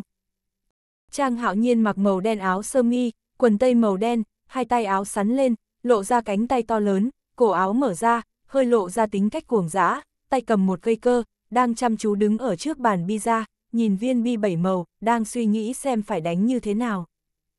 Tiểu đường, chấm than ngoặc kép, bọn Lâm Sở Nhai và Tô Lạc Hoành, Tào Anh Kiệt nhìn thấy đường khả hình, lập tức cười vui vẻ, kêu to.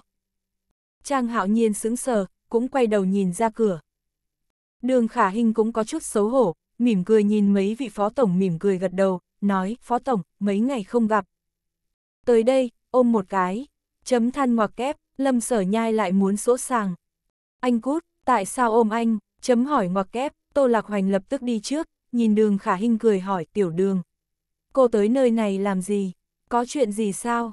À, chấm ngoặc kép, đường khả hình nhìn Trang Hạo Nhiên một cái, liền có chút lúng túng nói, thầy giáo giao cho tôi một nhiệm vụ, muốn tôi. Phụ trách tiệc thưởng rượu lần này, cho nên, tôi mang tài liệu tới để Tổng Giám Đốc ký tên. Chấm ngoặc kép, Trang Hạo Nhiên đứng ở một bên, chỉ nhàn nhạt nhìn cô một cái, liền vung cây cơ, hơi cúi xuống thân thể cao lớn, vươn cánh tay, ngón tay thon dài nhấc lên, tư thế hết sức đẹp trai, cây cơ tựa nhẹ ở phía trên ngón cái, nhắm ngay viên bi màu trắng, cân nhắc chính xác mới nói em có từng tổ chức tiệc thưởng rượu chưa? Người này, thật sự là công gia công, tư gia tư. Đường khả hình nghe Trang Hạo Nhiên nghi ngờ, không thể làm gì khác hơn là thở nhẹ một hơi, mới lắc đầu một cái nói, không có. Chấm ngoặc kép, bọn Tô Lạc Hoành lập tức không nói gì, nghe ra không khí không đúng lắm. Em không có một chút kinh nghiệm nào, anh làm sao dám giao cho em tổ chức tiệc thưởng rượu đỏ đẳng cấp thế giới. Nếu em làm hỏng, thì sao? Trang hạo nhiên nói xong, liền nhắm về phía viên bi màu trắng đánh mạnh, cốp một tiếng, viên bi trắng đụng viên bi đỏ, viên bi đỏ lập tức vào lỗ. Ngoặc kép chấm, chấm ngoặc kép, đường khả hình không lên tiếng. Ôi, sẽ không đâu. Tô Lạc Hoành lập tức cười theo nhìn vẻ mặt lạnh lùng của Trang Hạo Nhiên, nói, mọi chuyện luôn có bắt đầu mà.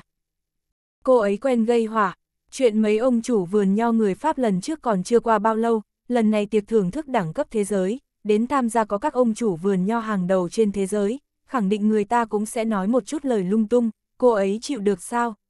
Không chịu nổi, lại hát rượu, Trang Hạo Nhiên cầm cây cơ, đứng lên, đi qua bên cạnh đường khả Hinh lại đo lường tính toán khoảng cách viên bi trắng và viên bi màu. Sẽ không, em đã trải qua một lần, chắc chắn sẽ cẩn thận xử lý, anh yên tâm. Đường khả hình ôm tài liệu, ngẩng đầu lên nhìn Trang Hạo Nhiên chăm chú nói. Anh yên tâm có ích lợi gì, em có thể làm được hay không, mới là chuyện quan trọng. Trang Hạo Nhiên lại cầm cây cơ, nhìn từng viên bi trên bàn, đo lường tính toán khoảng cách, đang suy nghĩ rốt cuộc đánh viên bi nào. Ngoặc kép chấm, chấm ngoặc kép, đường khả hình lại bất đắc dĩ nhìn anh, nhỏ giọng nói, anh không tin tưởng em sao. Em làm không ít chuyện tốt, mấy ngày trước anh đi thăm Tổng Giám Đốc Tưởng, còn nghe nói em muốn trở lại Cambridge, một người lựa chọn trốn tránh, như vậy tiệc thưởng thức đẳng cấp thế giới nên giao cho người khác đi. Trang hạo nhiên cầm cây cơ, hơi cúi người xuống, lại chọn tư thế, nắm nhẹ cây cơ, nhắm ngay viên bi trắng, ánh mắt hấp dẫn khẽ ngưng tụ. Đường khả hình khẽ cắn môi dưới. Trang hạo nhiên tức giận nắm cây cơ, đánh một cái, cốp một tiếng, viên bi trắng đụng vào viên bi đen, không ngờ không có vào lỗ, mà bắn ngược trở về, đánh trúng viên bi trắng vào lỗ, anh sửng sốt. Wow, mẹ nó, chấm than ngoặc kép, Tô Lạc Hoành nhìn viên bi kia, kêu to, đánh dở như vậy, anh cũng đánh được. Muốn chết hả, cái này gọi là lỡ tay, chấm than ngoặc kép, Trang Hạo Nhiên quay đầu, trợn mắt muốn mắng anh. Trên bàn bi truyền tới một tiếng cốp, mấy người đàn ông thuận thế nhìn viên bi trắng đụng viên bi đỏ, sau đó viên bi đỏ lại bắn ngược, chạm vào viên bi xanh vào lỗ, thật chính xác. Wow, chấm than ngoặc kép, mấy người cùng nhau ngẩng đầu lên, nhìn người trước mặt. Lúc này đường khả hình cầm cây cơ thật dài chạm đất, gõ nhẹ một cái, đứng ở bên bàn bi ra, nhìn Trang Hạo Nhiên, lạnh nhạt nói, trên thế giới này, mỗi người đều có lúc sai, em có, anh cũng có, quan trọng là em có còn cơ hội làm lại hay không. Giao cho em một cơ hội, có thể không? Tổng Giám Đốc Trang, chấm ngoặc kép. Trang hạo nhiên tựa vào một bên, hai mắt hơi lóe lên ánh sáng sắc bén, nhìn vẻ mặt đường khả hình kiên quyết, nói, muốn cơ hội. Vâng, vẻ mặt đường khả hình kiên quyết nhìn anh. Đánh hết tất cả bi vào lỗ, anh sẽ cho em cơ hội. Trang hạo nhiên nhìn cô, gõ ngón tay mặt bàn một cái, dáng vẻ hơi lộ ra dứt khoát, nói. chương 663, cho em một cơ hội. Đánh hết tất cả cho em cơ hội.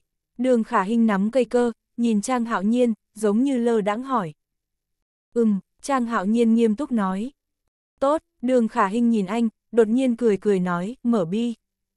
Đánh hết tất cả cho em cơ hội. Đường khả hình nắm cây cơ, nhìn Trang hạo nhiên, giống như lơ đãng hỏi. Ừm, Trang hạo nhiên nghiêm túc nói. Tốt, đường khả hình nhìn anh, đột nhiên cười cười nói, mở bi.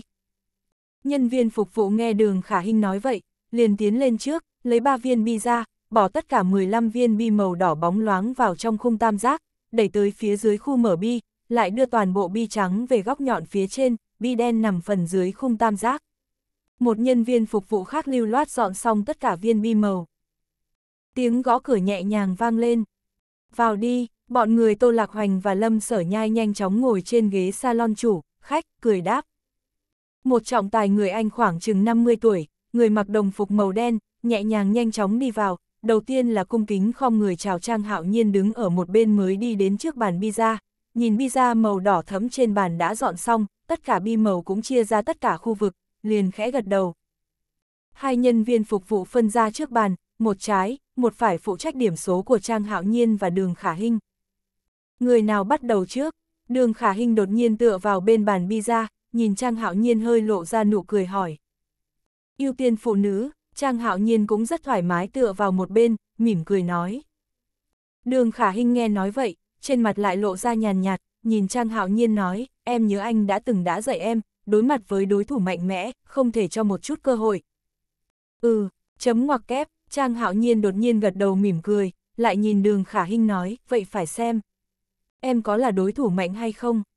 Đường Khả hình không nói gì thêm, mà nhàn nhạt buông xuống cây cơ mới vừa thuận tay cầm, sau đó trong ánh mắt chăm chú của mọi người, bước nhanh tới khu vực dựng cơ, nhìn qua tất cả cây cơ, cuối cùng ánh mắt rơi vào chữ TK, công ty chế tạo hàng loạt cây cơ đánh bi ra kinh điển, hai mắt trầm ngâm nghĩ, liền nhanh chóng cầm cây cơ lên, cân đối sức nặng của cây cơ.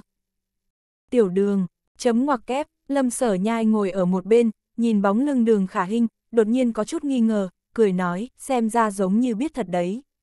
Chấm ngoặc kép, chắc là biết, quan trọng là biết bao nhiêu. Tào Anh Kiệt cũng cười, nhìn Trang Hạo Nhiên như đã tính trước ngồi ở một bên, từ chối Flamingo nhân viên phục vụ đưa tới, mà bảo tiêu đồng rót cho mình, trà hoa lại, uống rất thản nhiên, anh mới nói, nhưng lão đại của chúng ta cũng là cao thủ ở anh. Bình thường không cho người khác cơ hội. Chấm ngoặc kép. Lãnh mặc hàn không lên tiếng, chỉ chăm chú nhìn bóng lưng đường khả hình, khẽ chớp mắt. Có thể, chấm ngoặc kép, đường khả hình cầm cây cơ, thoải mái đi tới trước bàn pizza, lại nhìn Trang Hạo Nhiên ngồi ở một bên, hỏi em bắt đầu trước. Ừm, Trang Hạo Nhiên đặt ly trà xuống, cười đáp. Nếu như em thắng, cho em hạng mục thưởng rượu. Đường Khả hình lại hỏi. Ừm, em muốn cái gì cho cái đó? Ừm, Trang Hạo Nhiên không có xem thường, nhưng vẫn nhàn nhạt đáp. Tốt, đường Khả hình nắm cây cơ xoay người, sắc mặt ngưng tụ, nhìn trọng tài. Trọng tài gật đầu, sau đó đi tới trước bàn bật đèn lên. Đường Khả hình đứng ở trước bàn phát bi, hai mắt chăm chú, nhắc cây cơ, khom người xuống, ngón tay thon dài trắng nón, dơ lên hết sức xinh đẹp, chạm nhẹ mặt bàn bi ra màu xanh lá cây, mặt khẽ cúi xuống, từ viên bi cái tức viên bi trắng nhắm ngay một viên bi đỏ, phân rõ góc nhọn, thân thể hơi nâng lên, tay cầm cây cơ dùng sức một cái, viên bi cái bay thẳng ra, đánh trúng một viên bi đỏ, toàn bộ bi đỏ xinh đẹp lập tức tản ra, một viên bi đỏ thuận lợi vào lỗ. Wow, chấm than ngoặc kép, bọn người lâm sở nhai xem mở bi đặc sắc, dối rít đứng lên cười vỗ tay. Trọng tài cũng mỉm cười kêu nhỏ, oan. Nhân viên phụ trách viết điểm số cho đường khả hình, nhấn nhẹ cái nút trước mặt một cái, đèn bên phải sáng lên chữ xô Ả Rập, một. Đường khả hình nhẹ nhàng chống cây cơ trên mặt đất, khẽ nhíu mày, có chút hả hê nhìn Trang Hạo Nhiên. Trang Hạo Nhiên chỉ thoải mái mỉm cười. Sắc mặt của đường khả hình hơi ngưng tụ, nắm cây cơ, lại xoay người, mang giày cao gót hơn mười mấy cm, lộ ra chân dài gợi cảm của mình, lại tới khu phát bi, hai mắt chăm chú nhìn bi bày trên bàn, sau khi khoa tay múa chân tìm đường, liền cầm cây cơ, nhẹ nhàng cúi người xuống, nâng cây cơ lên so viên bi màu trắng, nhắm ngay bi màu đen phía trước, phân tích góc độ thật tốt, giả định đánh bi, hai mắt ngưng tụ, đánh mạnh cây cơ một cái, lại nhẹ nhàng linh hoạt thu lại. Viên bi cái nhanh chóng xoay tròn trượt thẳng, nhẹ nhàng linh hoạt tránh được viên bi màu xanh dương, xinh đẹp chạm nhẹ vào bi đen, thuận lợi vào lỗ bên trái. Wow, bọn lâm sở nhai cười đến nhăn mày, suy nghĩ cô muốn làm gì. Sắc mặt Trang Hạo Nhiên hơi ngưng lại, có chút chế giễu nhìn cô. Sếp En, trọng tài nhàn nhạt từ trong lỗ bi, cầm viên bi màu đen lên, lại đặt xuống vị trí tốt. Nhân viên ghi điểm lại nhấn 7, tổng cộng 8 điểm. Năm gần đây Biza là môn thi đấu tương đối thịnh hành, bắt nguồn vào thế kỷ 15, quy tắc trò chơi là đánh bi đỏ trước, sau đó đánh bi màu, bi màu vào lỗ, do trọng tài nhặt ra, sau đó cầu thủ đánh lại bi đỏ, rồi đánh lại bi màu, cho đến khi đánh hết bi đỏ mới thôi. Cách tính điểm là bi vàng 2 điểm, bi xanh lá 3 điểm, bi nâu 4 điểm, bi xanh 5 điểm, bi hồng 6 điểm, bi đen 7 điểm, bi đỏ 1 điểm. Mà người chơi cao nhất trên thế giới hiện nay đạt điểm mắc là 134 điểm, người chơi chính đánh bi đỏ trước, rồi đánh bi đen, vòng đi vòng lại, cho đến khi đánh hết bi đỏ mới thôi, sau đó đánh bi màu trước, điểm mắc là 147 điểm. 147 điểm này, từ trước đến nay ngay cả cao thủ thế giới cũng chỉ thỉnh thoảng mới đạt được như thế. Cốp, chấm ngoặc kép, một viên bi đỏ thấm, xinh đẹp lọt vào lỗ. Đường khả hình mỉm cười, nghe bên bàn ghi tỷ số chuyển đến 9 điểm, cô lại ngưng thần cầm cây cơ, cúi người xuống, hai mắt nhắm ngay vị trí bi đen vào lỗ, phân tích xong, mới mỉm cười nói, thời gian trước kia còn lăn lộn, giải trí duy nhất chính là đánh, bi ra lỗ, nhưng gần đây ít chơi, ngượng tay rồi. Chấm ngoặc kép, nói xong, tay cầm cây cơ, đi phía trước thọc một cái. Viên bi trắng hết sức có thế địa trượt qua viên bi xanh lá, đánh thẳng về phía viên bi đen, cốp một tiếng, trực tiếp rơi vào lỗ. Lúc này trọng tài không thể không liếc mắt nhìn đường khả hình, nhẹ nhàng đi tới lỗ bi giữa bàn, lấy viên bi đen đặt ở trước bàn, lại hô nhỏ, xếp en. Nhân viên ghi điểm nhấn 7, tổng điểm chung 16 điểm. Lúc này, ánh mắt của mấy người lâm sở nhai và tô lạc hoành có chút sáng lên, tiêu đồng ngồi ở một bên, cũng không nhịn được mỉm cười, nói, không thể nào. Trang Hạo Nhiên ngồi ở một bên, trong mắt cũng hơi híp lại. Đường khả hình đã lưu loát cúi người xuống, cầm cây cơ, nhắm ngay viên bi đỏ, đánh mạnh bi trắng một cái, bi trắng bay về phía trước, va chúng vào khung bàn bi ra, sau đó bắn ngược trở về, lướt qua bên cạnh viên bi đỏ, cốc một tiếng, thuận lợi vào lỗ, cô kêu một tiếng, cười hắc hắc. Tô Lạc Hoành không nhịn được bưng cốc tai uống một hớp. Đường khả hình lại cúi người xuống, nghe được bên kia tỷ số 17 điểm, lại nhanh chóng cúi người xuống, lộ ra tư thế tao nhã, chăm chú nhìn viên bi đen và viên bi màu hồng, còn thiếu một chút trò chơi bi ra lỗ, lúc đánh viên bi màu mục tiêu, không thể chạm vào bi màu khác hai mắt của cô ngưng tụ, cây cơ nhẹ nhàng nâng lên, viên bi trắng nhẹ nhàng bay lên, nhảy qua viên bi hồng, sau đó thuận lợi đánh trúng viên bi đen vào lỗ. Con người của mọi người rất ra. Hắc, như vậy cũng vào, chấm than ngoặc kép, đường khả hình đột nhiên có chút vui vẻ, buồn cười nhìn Trang Hạo Nhiên ngồi ở một bên không nói lời nào, thật sự bất đắc dĩ nhún nhún vai nói quá khoa trương. Chấm than ngoặc kép, trọng tài lại nhìn đường khả hình một cái, có chút nghi ngờ thân phận của cô, tay cất vào lỗ bi, lấy bi đen ra, nói, Seven. Nhân viên ghi tỷ số lại mỉm cười cộng điểm.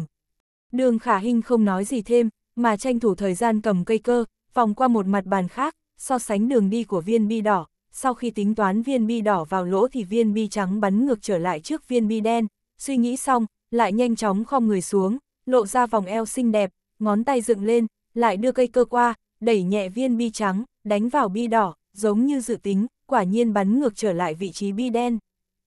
Oan, trọng tài đọc tiếp. Đường khả hình lại cúi người xuống, thoải mái đánh vào viên bi đen. Xếp en. Oan. Xếp en. Oan. Xếp en. Trước bàn bi không ngừng vang lên tiếng cốp, cốp, cốp, cốp. Bên này, nhân viên ghi tỷ số của đường khả hình càng không ngừng đẩy điểm số về phía trước, liếc nhìn đồng nghiệp ghi tỷ số đứng ở một bên một cái, rất lâu không có cử động, chắt lưỡi một tiếng, nhạo báng một phen.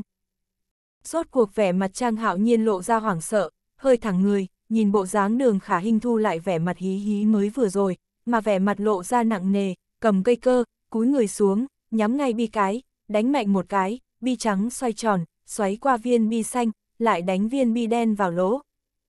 Xếp en, chấm than ngoặc kép, bản thân trọng tài cũng có chút căng thẳng, bởi vì ông làm trọng tài nhiều năm, một lần đánh điểm mắc, cách 12 năm trước. Trên bàn chỉ có 3 viên bi màu đỏ.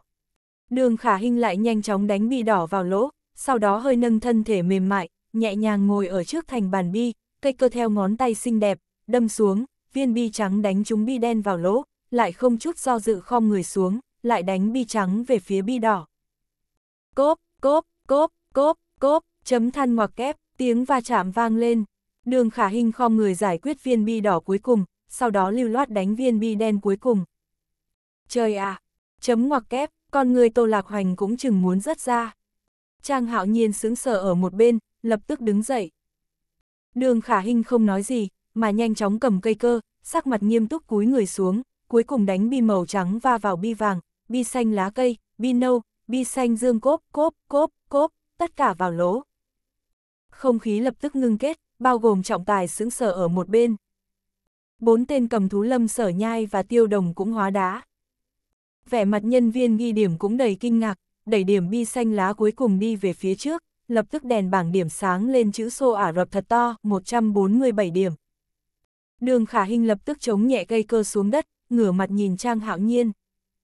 Soảng, chấm than ngoặc kép, flamingo trong tay Trang Hạo Nhiên bởi vì lòng tay lập tức rơi xuống sàn, văng tung tóe ướt áo sơ mi của mình. Nhân viên phục vụ xinh đẹp lập tức tiến lên, muốn lấy khăn tay trắng lau cho anh. Nhưng Trang Hạo Nhiên lập tức bất mãn nắm chặt tay của cô, không để cho cô đụng vào người của mình, lại kinh ngạc nhìn đường khả hình. Vẻ mặt đường khả hình cũng đầy thắng lợi nở nụ cười nhìn Trang Hạo Nhiên, trong dịu dàng mang theo mạnh mẽ nói, trên thế giới này không có người chiến thắng mãi mãi, cũng không có người thua mãi mãi, cho dù em lựa chọn con đường kia, thật ra cho tới bây giờ em cũng không có trốn tránh, không có gì so được với nhiệt tình yêu thương rượu đỏ trong lòng em. Đó không phải là một nơi nghỉ ngơi, đó cũng không phải là nơi thắng lợi, đó là tín ngưỡng trong lòng em. Lịch sử rượu đỏ trải qua mấy ngàn năm, vô số người vì nó chiến đấu, đúc kết ra sức mạnh và trí tuệ, là sự ủng hộ mạnh nhất trong cuộc đời em. Em nhất định sẽ cố gắng, Tổng Giám Đốc Trang, giao cho em một cơ hội, em nhất định sẽ cố gắng. Chấm than ngoặc kép, chương 664, tương lai các người ở bên nhau. Thang máy trong suốt không ngừng chạy lên trên. Đường khả hình an phận ôm tài liệu, đứng ở bên trong thang máy, không lên tiếng. Đôi tay Trang Hạo Nhiên cắm túi quần, đứng ở một bên, cố ý nhìn bức tường bên ngoài trong suốt, ho nhẹ một tiếng, ánh mắt lóe lên một cái, vẫn không thể tin được mình mới vừa thấy, lại sửng sốt quay đầu lại nhìn đường khả hình. Ánh mắt đường khả hình lóe lên nụ cười, khẽ cúi xuống. Trang hạo nhiên muốn nói với cô một câu, lại có chút lúng túng và mất mặt quay đầu đi, tiếp tục không lên tiếng. Cửa thang máy lập tức mở ra. Bọn người tô lạc hoành, lâm sở từ một thang máy khác bước ra ngoài trước, nôn nóng ồn ào muốn xông vào thang máy, chuẩn bị quỳ xuống tôn sùng đường khả hình, dáng vẻ bọn cầm thú hưng phấn, Trang hạo nhiên nhìn thấy rất ghê tởm, muốn nhấc chân đạp bọn họ, kêu to, làm gì vậy? Ôi, tiểu đường của tôi, tiểu đường của tôi, chấm than ngoặc kép, tô lạc hoành liều chết muốn chui vào, cực kỳ hưng phấn gọi đường khả hình, mau đi theo anh đi. Anh dẫn em đi thi đấu, để cho em nổi tiếng hàng đầu. Còn học rượu đỏ làm gì? Tương lai anh sẽ để cho em có cuộc sống tốt đẹp. Chấm than ngoặc kép. Lâm sở nhai cũng cứng rắn chui vào cười ha ha ha nói với đường khả hình, lúc tôi còn sống, có thể để cho tôi tận mắt nhìn thấy 147 điểm mắc. Trời ạ, là khả hình của tôi đánh. Trời ạ, trong thân thể của cô rốt cuộc chứa năng lượng gì vậy? Moi ra đây cho anh nhìn một chút. Phốc, đường khả hình không nhịn được cười. Trang hạo nhiên híp mắt nhìn bọn họ, tức giận nói, lá gan lớn đúng không? Dám cản đường của tôi. Ôi chao, ôi chao, chấm than ngoặc kép, bọn họ dám đẩy Trang hạo nhiên, lập tức vây hai bên đường khả hình, lôi kéo nâng niu đường khả hình, coi cô như tiên nữ, cực kỳ hưng phấn nói thân ái, cô học đánh bi ra ở đâu vậy? Đường khả hình vừa cùng bọn họ bước đi, vừa cười nói, lúc tôi làm việc ở quán bar, học với một khách nước ngoài rất lợi hại, tôi chưa từng nhìn thấy anh ấy thi đấu, nhưng bởi vì anh ấy thường gọi tôi mở rượu cho anh ấy, nói chuyện với anh, một mình anh ấy đánh không vui, hỏi tôi có muốn học hay không, tôi nói học. Tôi liền học với anh ấy, anh ấy cũng không dạy tôi thứ khác, chỉ dạy tôi đánh bi điểm mắc. Oh, my god, có nghe thấy không, chấm than ngoặc kép, Tô Lạc Hoành kích động hưng phấn hét lên, anh ấy cũng không dạy cô thứ khác. Anh ấy chỉ dạy cô đánh điểm mắc, Hoa ha ha ha ha ha. Lâm sở nhai suýt chút nữa ôm đường khả hình lên, tiêu đồng cũng hưng phấn nhảy đến trước mặt của đường khả Hinh, kích động nhìn cô, cười kêu to, khả Hinh, Cô thật giỏi, cái gì cô cũng giỏi nhất, cô là nữ thần bi ra lỗ, chấm than ngoặc kép. Đường khả Hinh cười thật ngọt ngào thỏa mãn. Trang hạo nhiên im lặng không lên tiếng, đi về phía trước cửa phòng làm việc. Lão đại, khả Hinh thắng rồi, có phải cuối năm anh cấp tiền thưởng cho khả Hinh hay không? Tiêu đồng cười ha ha nói đùa, nhớ tới lúc này Tô Lạc Hoành và Lâm Sở Nhai đấu nhau. Không cần, đường khả hình cười nói. Anh không nói cho, Trang Hạo Nhiên đã đi vào. Sắc mặt của đường khả hình hơi thu lại nhìn anh. Mau vào đi, cố lên, chấm than ngoặc kép, tiêu đồng nhìn đường khả hình, khe khẽ nắm quả đấm, cười nhẹ nói, anh ấy có chút mất mặt, lúc này cũng không có đụng vào cây cơ. Ha ha ha ha, chấm ngoặc kép, mấy người tô lạc hoành lập tức cúi đầu, há to mồm cười to. Cửa ầm ầm mở ra, Trang Hạo Nhiên lạnh lùng híp mắt nhìn mấy tên cầm thú. Vèo, mọi người chạy như ong vỡ tổ. Đường khả hình một mình im lặng đứng ở trước cửa, sắc mặt khẽ thu lại không lên tiếng. Trang Hạo Nhiên lại tức giận nhìn cô một cái, nói, vào đi. Chấm than ngoặc kép. Anh nói xong, đã xoay người đi vào. Đường khả hình im lặng không lên tiếng, cũng nhẹ nhàng cất bước đi vào phòng làm việc, xoay người đóng cửa lại. Sau lưng truyền tới tiếng thay đồ, cô sửng sốt quay đầu, cũng đã nhìn thấy Trang Hạo Nhiên quay lưng lại với mình, buông lỏng từng cúc áo, mới vừa bị nữ nhân viên phục vụ dội ướt quần áo, anh không chịu nổi nhất ẩm ướt, thở dốc một hơi, vừa muốn cởi áo sơ mi xuống. Cô lập tức đỏ mặt quay đầu đi, không dám nhìn. Trang Hạo Nhiên hơi nghiêng mặt nhìn bóng dáng kia một cái, liền im lặng đi vào phòng nghỉ ngơi, không đến bao lâu liền vang ra tiếng nước chảy. Đường khả hình im lặng đứng ở một bên, suy nghĩ trôi nổi, không lên tiếng. Tiếng gõ cửa vang lên.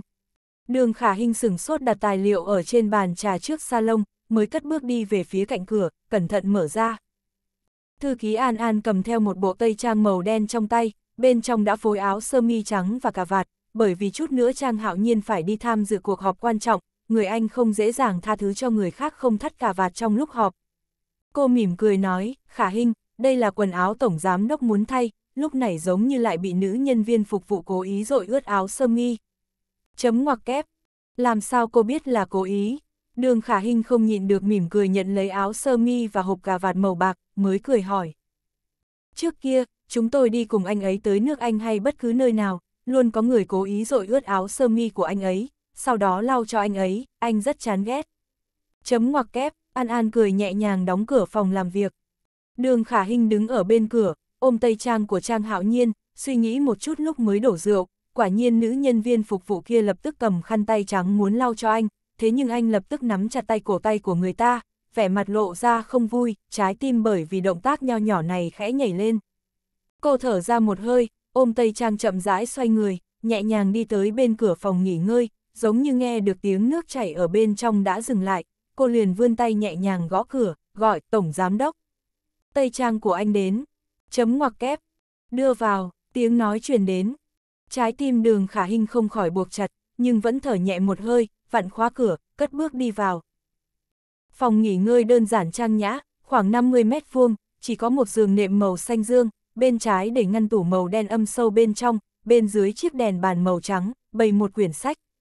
Hiển nhiên không có lật thường xuyên, từ trước đến giờ, buổi tối Trang Hạo Nhiên xem tài liệu mới có thể đi vào, buổi trưa lúc nghỉ ngơi, để tránh mình tham ngủ, tuyệt đối sẽ không đi vào phòng nghỉ ngơi. Anh là một người nhìn như tùy tiện đối với sinh hoạt hàng ngày, nhưng rất có nguyên tắc và đòi hỏi. Đường khả hình lại ôm Tây Trang, nhìn thoáng qua giá sách và tủ hồ sơ bên cạnh, còn có một bình hoa hình khối, ở giữa vẫn cắm một nhánh flamingo, có thể giống với nhánh flamingo trong gian phòng của mình. Cô hơi nghi ngờ đến gần nhánh flamingo, mới vừa muốn xem, trong phòng tắm truyền đến tiếng động, lúc này cô lập tức xoay người, thấy mặt kính hơi mờ của phòng tắm, có bóng dáng to lớn của anh đang hoạt động, cô đỏ mặt nhớ tới mình phải đưa Tây Trang vào, lập tức đi tới cạnh cửa, nhẹ nhàng nói, Tổng Giám Đốc. Tây Trang đây. Cửa nhẹ nhàng mở. Đường Khả hình thật cẩn thận cầm bộ Tây Trang đi vào. Trang hạo nhiên im lặng nhận lấy. Đường Khả hình vội vàng rút tay về. Một bàn tay lập tức nắm chặt tay của cô. Mặt của đường Khả hình đỏ lên, lập tức ngẩng đầu lên, nhìn thấy trong kính có một đàn ông nghiêng mặt, hai mắt nóng bỏng đang chăm chú nhìn. Một bộ tây trang và một hộp cà vạt đưa ra, nhét vào trên tay của cô. Làm thư ký cũng không hợp cách, đưa quần áo cũng không chọn lựa, đánh pizza lại rất giỏi. Trang hạo nhiên nói xong, lập tức đóng cửa lại. Đường khả hình ôm tây trang màu đen, mặt ửng đỏ đi đến bên bàn sách, chăm chú nhìn nhánh flamingo. Không đến bao lâu, Trang hạo nhiên đã mặc quần tây đen, áo sơ mi trắng, cúc áo chưa cài, đã cảm thấy bên trong có chút nóng, tóc ướt đẫm đi ra ngoài, vừa lúc thấy đường khả hình đang nhìn kỹ flamingo, anh im lặng không lên tiếng, cài từng cúc áo. Đường khả hình quay đầu, vừa vặn nhìn thấy Trang hạo nhiên đang cài cúc áo, lộ ra lồng ngực rắn chắc, cô lập tức căng thẳng xoay người, đưa lưng về phía anh, khẽ cắn môi dưới. Trang hạo nhiên thở dài một cái, cài cúc áo tới lồng ngực, liền kéo cửa ra đi ra ngoài, nói, đem tây trang cả vạt ra đây. Ồ, chấm ngoặc kép, đường khả Hinh lập tức đi lên trước, ôm lấy tây trang và cà vạt đi ra phòng nghỉ ngơi, cũng đã thấy Trang hạo nhiên đã tao nhã ngồi ở trên ghế salon, lật xem tài liệu có liên quan đến tổ chức tiệc thưởng thức rượu đỏ, hai mắt chăm chú, lật từng trang từng trang. Đường khả Hinh nhìn anh một cái, cũng im lặng đi tới, thật cẩn thận để tây trang và hộp cà vạt ở trên ghế salon, mình cũng nhẹ nhàng ngồi ở đối diện, khẽ cúi đầu. Có lòng tin tổ chức tiệc thưởng thức rượu lớn như vậy không? Trang hạo nhiên hỏi. Đường khả hình khẽ lắc đầu. Anh nhắc mí mắt nhìn cô. Đường khả hình cũng nhẹ nhàng ngẩng đầu, nhìn anh nói, không có lòng tin, nhưng em biết rõ, em nhất định phải làm chuyện này, hơn nữa toàn tâm toàn ý làm xong. Xin anh tin tưởng em, em nhất định sẽ cố gắng. Chấm than ngoặc kép. Làm xong rồi thì sao? Trang hạo nhiên nhìn đường khả hình, hơi lộ ra nụ cười hỏi, cùng Tổng Giám Đốc tưởng đi nước Anh, đến phòng ăn bách hợp, dốc sức vì sự nghiệp rượu đỏ của hai người sao. Đường khả hình lập tức ngẩng đầu lên, sừng sốt nhìn Trang Hạo Nhiên. chương 665, không được nghe điện thoại. Giữa hai người, chấm ngoặc kép, Trang Hạo Nhiên hơi trầm ngâm, giống như có hơi xúc động cười nói, thật sự là tính toán rất tốt. Chấm ngoặc kép, đường khả hình lặng yên nhìn anh, nghĩ tới tưởng thiên lỗi đã nói gì với anh rồi, ánh mắt của cô khẽ xoay tròn, có chút giấy dụa muốn giải thích, nhưng vẫn im lặng không lên tiếng, khẽ cúi xuống. Trang hạo nhiên nhìn cô chăm chú. Đường khả hình hơi suy nghĩ một chút, nhớ tới nhiệm vụ lần này, liền ngẩng đầu lên nhìn Trang Hạo Nhiên nói, Tổng Giám Đốc, tài liệu này, anh. Phê duyệt đúng không, nói thì giữ lời đi, em thắng cuộc. Trang Hạo Nhiên im lặng không lên tiếng nhìn cô. Đường khả hình giống như nhìn thấy trong mắt anh có một chút nghi ngờ bị thương và mất mát, trái tim cô đau như bị người đấm mạnh, nặng nề cúi đầu, nhìn bàn trà trong suốt, lúc này mới phát hiện, phía dưới thủy tinh có một trong chóng gió màu tím, cô liền giật mình, tại sao cứ có cảm giác toàn bộ thế giới của anh đều là thứ mình quen thuộc. Hai mắt của cô nhanh chóng chấp lóe, cảm giác thân thể sắp hít thở không thông.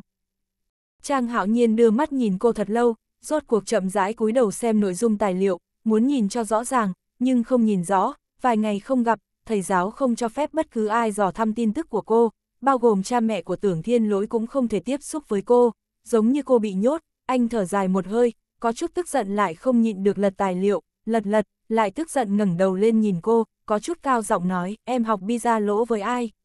Học với ai? Đường khả hình sướng sờ ngẩng đầu, nhìn anh nói, không phải lúc này đã nói học với một khách nước ngoài sao? Vậy người khách nước ngoài đó tên gì? Trang hạo nhiên lại lạnh lùng hỏi. Đường khả hình hơi do dự một lát, mới nói Hy. Chấm ngoặc kép. Không phải là Tư Kim Hy chứ? Chấm hỏi ngoặc kép, Trang hạo nhiên không tin hỏi. Không phải, làm sao có thể chứ? Anh cho rằng em không biết Tư Kim Hy là ai à? Đường khả hình khẽ chừng mắt liếc nhìn anh một cái, mới nói, anh ấy bảo em không nên nói tên của anh ấy. Chấm ngoặc kép, em nghe lời nhiều người như vậy, tại sao em không nghe lời của anh? Anh đối xử với em không tốt sao? Anh đối xử với em cũng rất tốt, ví dụ như anh bảo em đừng đi, em nghe anh sao? Lồng ngực Trang Hạo Nhiên căng ra, ánh mắt lộ ra thiết tha nhìn cô. Đường Khả Hinh lập tức sướng sờ ngẩng đầu nhìn anh, đôi tay đặt ở trên đùi, khẽ nắm chặt. Em có quyết định này từ lúc nào? Trang Hạo Nhiên nhìn cô, lại hỏi tiếp. Ngoặc kép chấm, chấm ngoặc kép, đường Khả Hinh vẫn im lặng không lên tiếng. Ngoặc kép chấm, chấm ngoặc kép, Trang Hạo Nhiên cắn chặt răng nhìn cô, thở hổn hển, hai mắt lại lóe sáng, nói anh hỏi em quyết định đi từ lúc nào. Em đưa ra quyết định này, có nghĩ qua cảm nhận của người khác không? Anh có ngăn cản tình yêu của em không? Anh làm cho em mâu thuẫn do dự đến mức này sao? Em chăm chú đối mặt với rượu đỏ của em không được sao?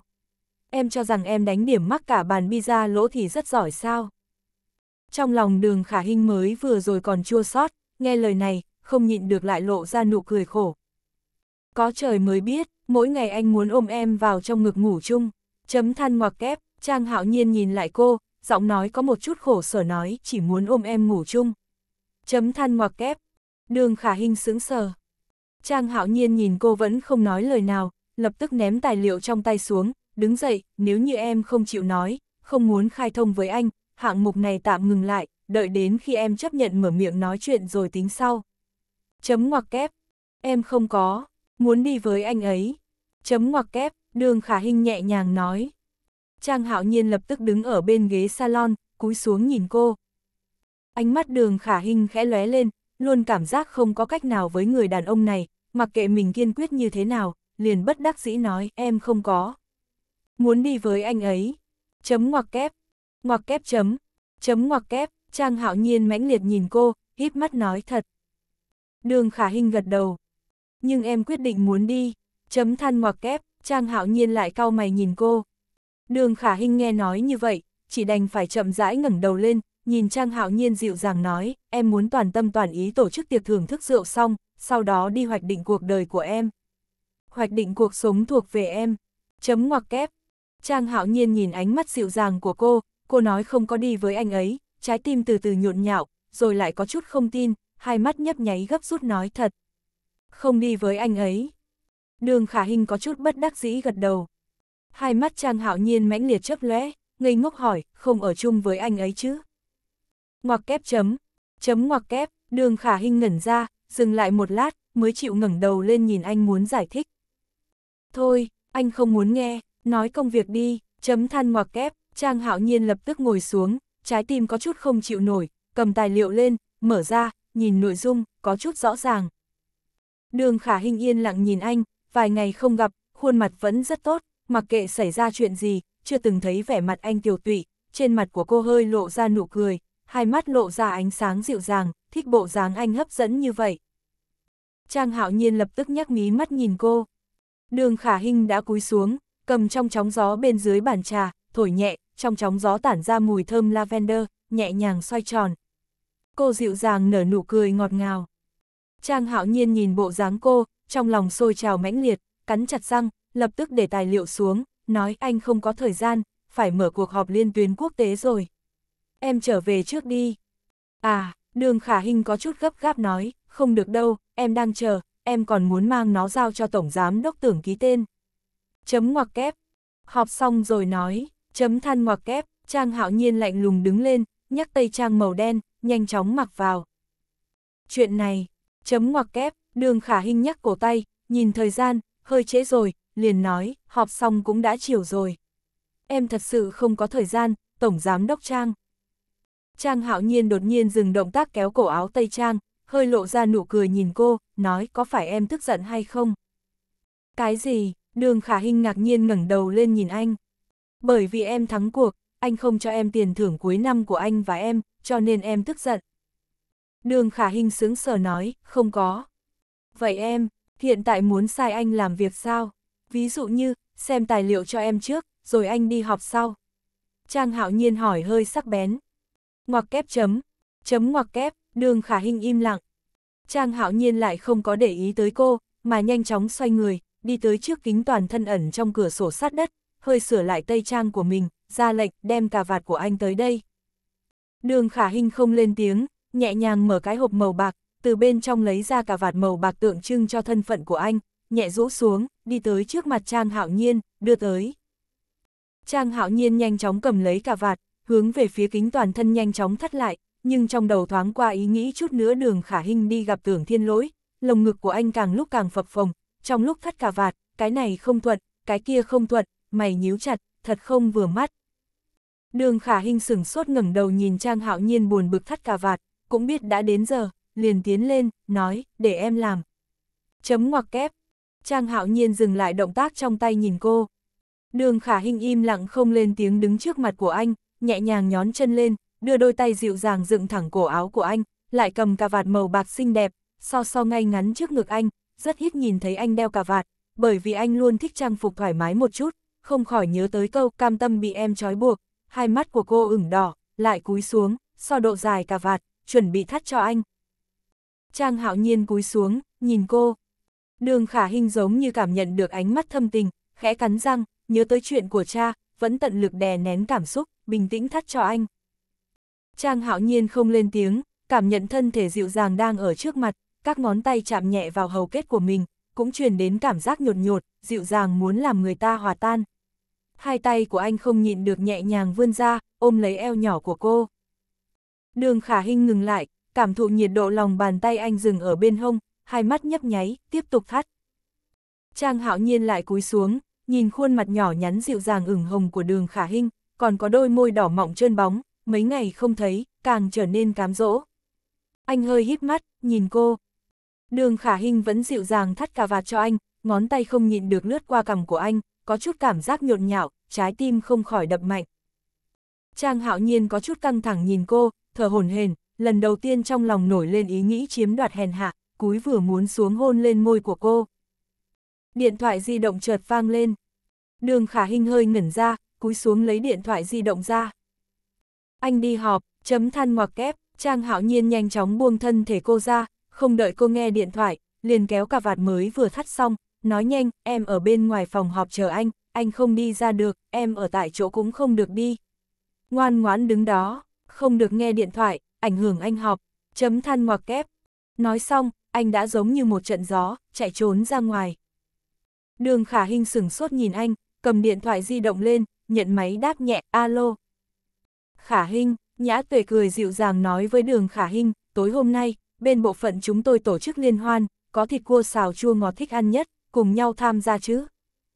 Đường khả hình nghe nói vậy, bất đắc dĩ thở dốc một hơi, đôi tay nhẹ rũ xuống, nhớ tới Trang Hạo Nhiên mới vừa ôm mình, cũng không đè nén được nhịp tim, cô nuốt cổ họng khô khốc, đầu tựa vào trên tường, nhắm mắt lại, lúc này thiếu chút nữa không khống chế được hôn rồi. Audio điện tử võ tấn bền chương 666, đau chân. Phòng họp số 1 tập đoàn Á Châu, Trang Hạo Nhiên dẫn lãnh đạo cấp cao cùng đi đến phòng họp số 1, nói chuyện cười đùa liếc nhìn bóng nhàn nhạt ở phía trước một cái, anh ngừng bước chân, nhìn cô. Đường khả hình giống như chỉ là một chiếc bóng dịu dàng, ngoan ngoãn đứng ở bên cạnh cửa chính phòng họp, hơi cúi đầu xuống. Ánh mắt Trang Hạo Nhiên thoáng qua nụ cười, rồi lại như không có việc gì bước đi. Bọn Tô Lạc Hoành đi theo, nhìn thấy đường khả hình, lập tức nắm quả đấm, cười hưng phấn gọi ia. Nữ thần! Đường khả hình nghe lời này, không nhịn được chậm rãi ngẩng đầu lên, nhìn thấy vẻ mặt bọn người Tô Lạc Hoành, cô không nhịn được cúi đầu mỉm cười. Trang hạo nhiên không để ý những người ở sau lưng, mà một mình hết sức tự nhiên và tao nhã đôi tay cắm túi quần, đẹp trai đi về phía trước, lúc muốn đi qua cạnh cửa, đi vào phòng họp thì ngừng lại, nhìn đường khả hình bên cạnh, thở nhẹ một hơi, cố tỏ vẻ thoải mái hỏi, lúc này nghe điện thoại chưa? Đường khả hình nghe hỏi vậy, đáp nhẹ, nghe rồi. Trang hạo nhiên hơi híp mắt, hỏi ai gọi tới? Nhã tuệ, chấm ngoặc kép, đường khả hình lại dịu dàng nói. Ánh mắt Trang hạo nhiên sáng lên, bộ dáng tiếc nuối không kịp, mới có chút tức giận nhìn đường khả hình hỏi, gọi điện thoại cho em làm gì? Chị ấy bảo hôm nay có liên hoan, sau đó nói có món cua xào chua cay em thích ăn. Chấm ngoặc kép, đường khả hình ngoan ngoãn trả lời. Em thích ăn cua xào chua cay hả? Trang hạo nhiên hơi ngạc nhiên hỏi. Đường khả hình khẽ gật đầu. Lần sau có thời gian, anh nấu cho em ăn. Chấm ngoặc kép, giọng nói Trang hạo nhiên hơi trầm xuống. Đường khả hình nhàn nhạt mỉm cười. Ngoặc kép chấm, chấm ngoặc kép, Trang hạo nhiên im lặng nhìn cô thật lâu, mới hỏi, đóng điện thoại di động chưa? Đường khả hình nhẹ nhàng lấy điện thoại di động ra, đặt trong lòng bàn tay, trạng thái màn hình đen thui. Trên mặt Trang hạo nhiên thật sự không nhịn được hiện lên nụ cười vui vẻ, nói, nghe lời như vậy. Đường khả hình chỉ mỉm cười. Trang hạo nhiên ho nhẹ mấy cái, cũng nhanh chóng từ trong túi móc điện thoại di động ra, ấn phím tắt máy ngay trước mặt đường khả hình, cho đến khi màn hình đen thui. Đường khả hình nhìn anh như vậy, sắc mặt khẽ thay đổi, trái tim khẽ chấn động. Đi họp, chấm than ngoặc kép, Trang hạo nhiên lạnh lùng nói xong, liền cất điện thoại di động xong, nhanh chóng đi vào phòng họp, các lãnh đạo cấp cao cũng đi theo vào. Tiểu đường, nữ thần, một chút nữa ra ngoài, chúng ta lại đi đánh pizza điểm mắt nhé. Bọn Tô Lạc Hoành hưng phấn nói xong, liền nhanh chóng đi vào phòng họp. Tiêu đồng cũng cho cô giấu tay cố gắng lên, mới hưng phấn ôm tài liệu đi vào phòng họp, nhìn tất cả mọi người đã tới, liền chuẩn bị đóng cửa lại. Chờ một chút, Trang Hạo Nhiên ngồi ở ghế ra tổng giám đốc, vừa mở tài liệu, vừa liếc về phía bóng dáng ngọt ngào của khả hình nhàn nhạt đứng ở bên cửa, nói, không cần đóng. Tiêu đồng sửng sốt nhìn Trang Hạo Nhiên, khẽ kêu nhỏ, không cần đóng.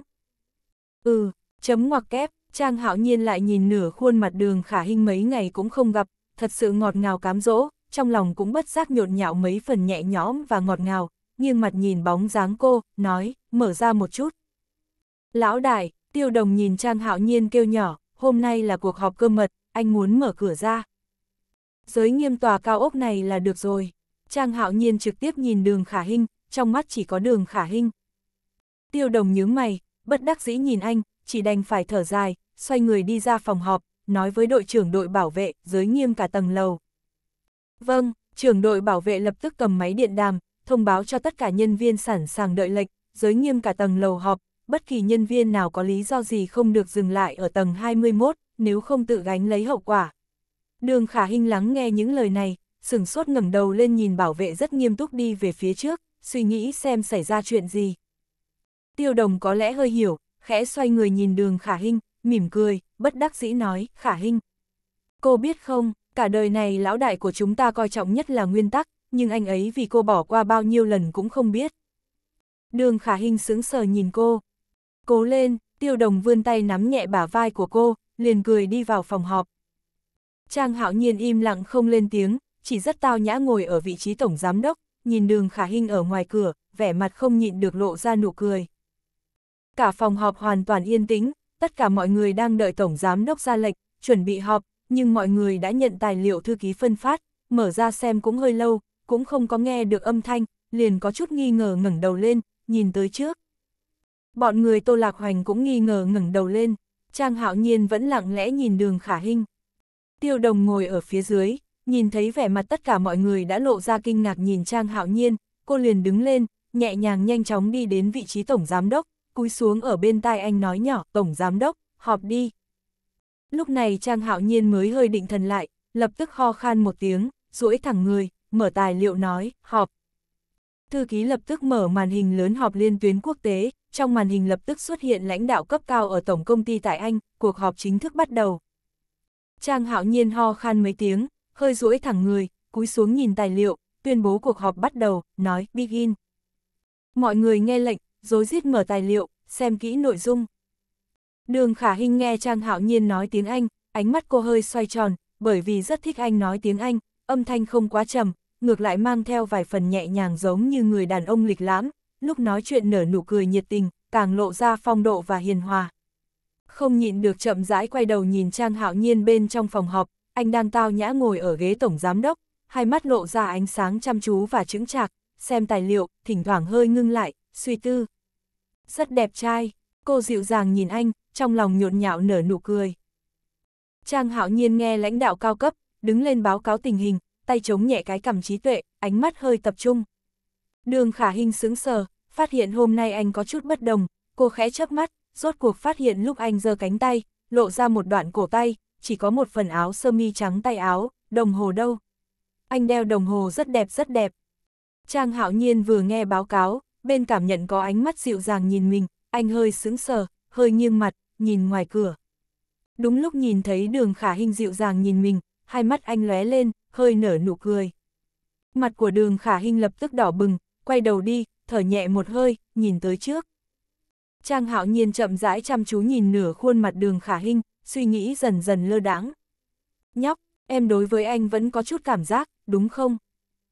Đường khả hình đứng ở một bên, suy nghĩ một lúc, lại không nhịn được ngẩng đầu lên, chậm rãi quay mặt sang nhìn bên trong phòng họp, ánh mắt dịu dàng lưu luyến.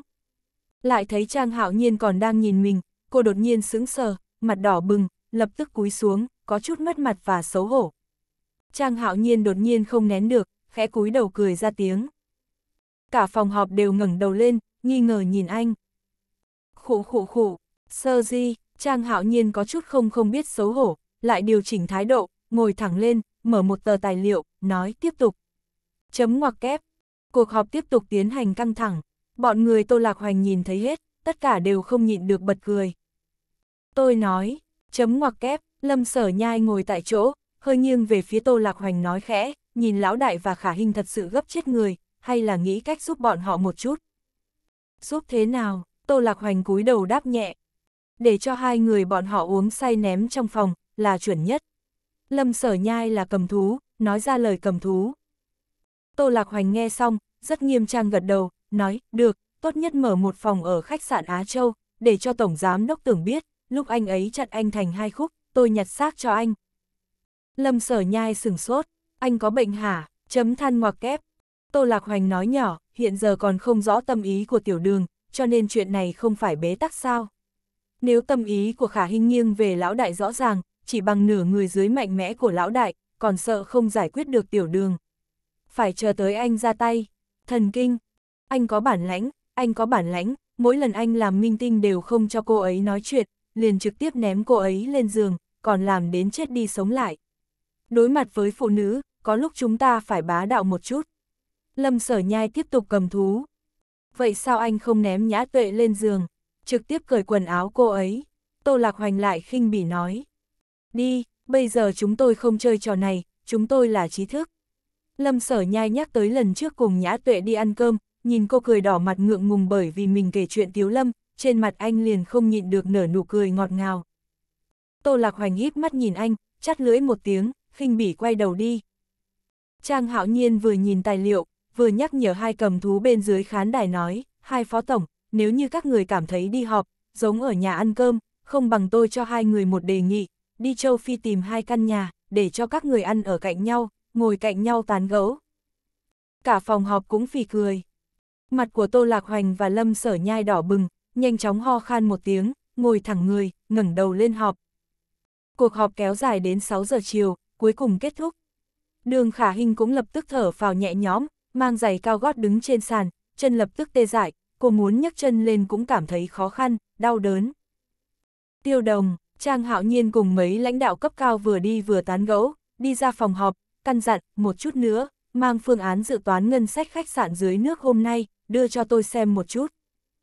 Vâng, tiêu đồng gật đầu, Trang hạo nhiên mới vừa muốn tiếp tục đi về phía trước, nhưng dừng ở cạnh cửa, nhìn đường khả hình tựa vào trên tường, mặt lộ ra khó chịu, mày nhíu chặt, muốn dơ nhẹ mũi chân.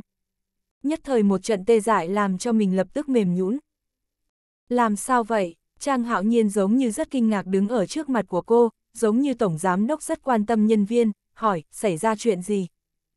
Đường khả hình chậm rãi ngẩng đầu lên, cố ý chừng mắt về phía Trang hạo nhiên, có chút tức giận nói, đứng quá lâu, chân bị tê. Đau đến không chịu nổi. Chấm ngoặc kép. Cho nên nói, chấm ngoặc kép, Trang hạo nhiên khinh bỉ nhìn cô cười cười nói, mang giày cao gót làm gì. Đường khả hình khẽ cắn môi dưới, cúi đầu, không muốn để ý tới người này. Trang hạo nhiên im lặng nhìn cô một cái, hai mắt hiện ra nụ cười, đột nhiên giao tài liệu cầm trong tay giao cho tiêu đồng, tiến lên một bước, khom người xuống, lúc đường khả hình không chút đề phòng, lập tức bế ngang cô lên, ôm vào trong ngực.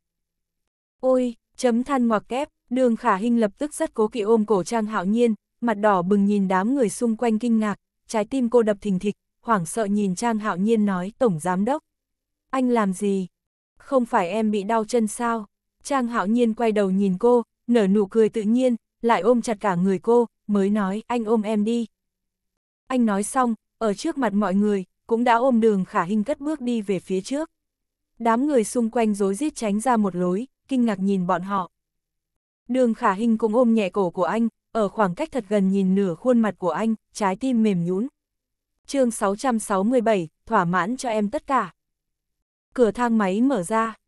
Trang hạo nhiên trực tiếp ôm đường khả hình đi ra thang máy, trong ánh mắt nhìn chừng chừng của các đồng nghiệp, rất tự nhiên tao nhã đi về phía phòng làm việc. Đồng nghiệp bộ phận hành chính đều kinh ngạc ngồi tại chỗ ngắm nhìn sang. Vẻ mặt của đường khả hình hồng hồng ôm cổ trang hạo nhiên, thật gấp gáp nói, Tổng Giám Đốc, anh thả em xuống. Anh làm như vậy, bọn họ sẽ nghĩ sao về em? Trang hạo nhiên vừa đi, vừa nhìn cô mỉm cười, âm thanh dịu dàng nói, nghĩ em như thế nào? Không phải em bị đau chân sao? Hay bọn họ sẽ nghĩ thế nào? Ngoặc kép chấm, chấm ngoặc kép, đường khả hình không nói nên lời nhìn anh. Trang hạo nhiên không nói gì thêm, chỉ ôm đường khả Hinh đi tới bên cửa phòng làm việc, dùng thân thể đẩy cửa ra, lập tức đóng chặt. Wow, có nên, đóng cửa như vậy hay không? Có mấy đồng nghiệp lập tức tụ chung một chỗ, kinh ngạc nói khẽ thật sự ở chung một chỗ à? Trưởng phòng hành chính cao mày, cũng đang suy nghĩ chuyện này, giống như đang nghiên cứu chuyện gì nói, nhưng Tổng Giám Đốc chúng ta vẫn luôn rất thương thư ký đường mà. Cho nên bọn họ vẫn luôn có hy vọng. Nhưng không phải thư ký đường có tin đồn với Tổng Giám Đốc tưởng sao. Có một thư ký trẻ mới tới cũng tiến lên, ngạc nhiên nói. Tổng Giám Đốc cũng từng có tin đồn với tôi, có giọng nói từ phía sau truyền đến. Mấy người đột nhiên sững sờ, thấy tiêu đồng cười bất đắc dĩ đứng ở một bên, nhìn mọi người, bọn họ lập tức ngồi trở lại vị trí, ho khan mấy tiếng, muốn làm việc. Có lần tôi chật chân, Tổng Giám Đốc còn cõng tôi đi một cây số đấy. Chấm than ngoặc kép, tiêu đồng cố ý nói với mọi người, chuyện này có gì ngạc nhiên, cấp trên quan tâm cấp dưới thôi. Tất cả mọi người không lên tiếng. Tiêu đồng nhìn mọi người an phận, mới hơi xoay người nhìn cánh cửa kia, đột nhiên bất đắc dĩ mỉm cười, xoay người đi vào phòng thư ký. Bên trong phòng làm việc, yên tĩnh, thật yên tĩnh. Đường khả hình im lặng đứng ở một bên, ngẩng đầu lên nhìn Trang hạo nhiên nhàn nhạt đứng ở trước cửa sổ sát đất, cởi bỏ cúc áo tây Trang. Cô nhẹ nhàng cúi đầu. Trang hạo nhiên vừa nhìn cô một cái, vừa cởi tây Trang, ra lệnh, tới đây. Đường khả hình sửng sốt ngẩng đầu nhìn anh. Anh gọi em tới đây. Trang hạo nhiên lại cao giọng nói. Đường khả hình liền im lặng cất bước đi tới trước mặt của anh, hỏi khẽ anh có gì căn dặn. Trang hạo nhiên cởi tây trang giao cho cô. Hai mắt đường khả hình sửng sốt khẽ chấp, vươn tay nhận lấy tây trang. Cởi cà vạt cho anh, Trang hạo nhiên lại nhìn cô nói. Đường khả hình hơi giật mình, mặc dù đỏ mặt xấu hổ, nhưng vẫn tiến lên một bước, dắt tay trang nơi cánh tay, giống như cô vợ nhỏ, vươn tay thật dịu dàng cởi bỏ cà vạt cho anh. Trang hạo nhiên im lặng nhìn cô. Đường khả hình thật cẩn thận cởi cà vạt xong, lại cởi bỏ một cúc áo thứ nhất cho anh, lộ ra hầu kết đàn ông rất khiêu gợi, cô im lặng không lên tiếng, lại cởi bỏ cúc áo thứ hai cho anh. Lộ ra xương ức, mặt của cô ửng đỏ, muốn rút tay về. Bình thường anh mặc áo sơ mi trắng, mở mấy cúc áo, em biết không? Trang hạo nhiên nhìn đường khả hình hỏi. Đường khả hình khẽ chớp mắt, thở nhẹ một hơi, ngay lập tức đưa tay tới trước lồng ngực rắn chắc của anh, lại cởi bỏ một cúc áo nữa, trong nháy mắt mở ra, nhìn thấy được làm ra đàn ông hết sức sức hấp dẫn, cô thở dốc một hơi, lập tức rút đôi tay về. Trang hạo nhiên lại im lặng mỉm cười, cúi xuống tự mình cởi bỏ cúc tay áo sơ mi, sắn lại, lộ ra cánh tay to lớn. Đồng hồ đeo tay của anh đâu? Đường khả hình giống như lơ đãng hỏi. Hư rồi, Trang hạo nhiên lại cuốn một ống tay áo khác nói, đồng hồ đeo tay này đi theo anh gần 10 năm rồi. Đường khả hình im lặng lắng nghe. Đi thôi, Trang hạo nhiên sửa sang xong, liền trực tiếp đi qua bên cạnh cô, đi khỏi. Đi đâu? Đường khả hình lập tức quay đầu, nhìn Trang hạo nhiên có chút gấp gáo nói, Tổng Giám Đốc, mặc kệ anh đi đâu, giúp em ký tài liệu trước được chứ? Em thật sự rất gấp. Trang hạo nhiên lập tức đứng ở bên cửa, nhìn đường khả hình hơi cau mày nói, có phải em? Lại cảm thấy em không lấy được tiền thưởng cuối năm của anh, em không vui hay không? Đường khả hình cảm thấy bất đắc dĩ nhìn anh. Mang tài liệu đi theo anh, Trang hạo nhiên đã đi ra ngoài. Đường khả hình nghe vậy, đành phải đi nhanh đến bên cạnh bàn trà, cầm tài liệu lên, vội vàng đi theo ra ngoài, nhìn Trang hạo nhiên đi về phía thang máy ở đầu kia, cô đuổi theo, gấp gáp hỏi, Tổng Giám Đốc, bây giờ chúng ta phải đi nơi nào? Không phải em thích ăn cua xào chua cay, Trang hạo nhiên đã nhấn nút cửa thang máy, đi vào. À, đường khả hình đi vào thang máy, nhìn anh hỏi, cua xào chua cay. Trang hạo nhiên nghiêm nghị nhìn cô cười nói, đúng vậy, cua xào chua cay. Tổng Giám Đốc, em thật sự, chấm ngoặc kép, đường khả hình thật sự hết sức hết sức phiền não, lại muốn nói với anh, em thật sự không có thời gian, anh. Chấm ngoặc kép, muốn anh ký tài liệu, thì phải nghe lời anh. Trang hạo nhiên lập tức đoạt lấy tài liệu cô ôm trong tay, dơ lên cao, nói. Đường khả hình cảm thấy chán nản nhìn anh. Thang máy nhanh chóng trượt xuống. Trang hạo nhiên và đường khả hình đi ra thang máy, sau đó đi tới đại sảnh khách sạn. Một chiếc Pagani Zonda Revolution, màu trắng, nhẹ nhàng vẽ một đường rất Pagani Zonda Revolution, nhưng vẫn xinh đẹp rất chói mắt dừng ở trước thảm đỏ. Trang hạo nhiên trực tiếp nhận lấy chìa khóa tiêu đồng đứng ở một bên đưa tới cho mình, hướng về phía chiếc xe nhấn mạnh một cái. Anh thay xe mới à? Đường khả Hinh đứng ở một bên hỏi. Tiêu đồng cười nói, hôm nay mới trở về từ Đức. Số lượng có hạn, Audi Pipic đưa đi bảo trì. Đường khả Hinh im lặng không lên tiếng nhìn chiếc Pagani Zonda Revolution, này so với Audi Pipic mạnh mẽ, mặc dù hơi êm dịu một chút, nhưng lại hết sức thời thượng, hấp dẫn, mà chủ yếu nhất là Pagani Zonda Revolution, này chỉ có hai chỗ ngồi, một là ghế lái, một là ghế lái phụ. Ánh mặt trời chiếu xuống mãnh liệt, mặc dù là lúc hoàng hôn, nhưng bởi vì gần đến mùa hè, hết sức nóng. Trang hạo nhiên đeo lên mắt kính màu nâu sậm thật ngầu, trực tiếp ngồi vào ghế lái. Đường khả hình im lặng nhìn anh. Đi đi, tiêu đồng cười vỗ bả vai của cô, sau đó sảng khoái xoay người đi khỏi.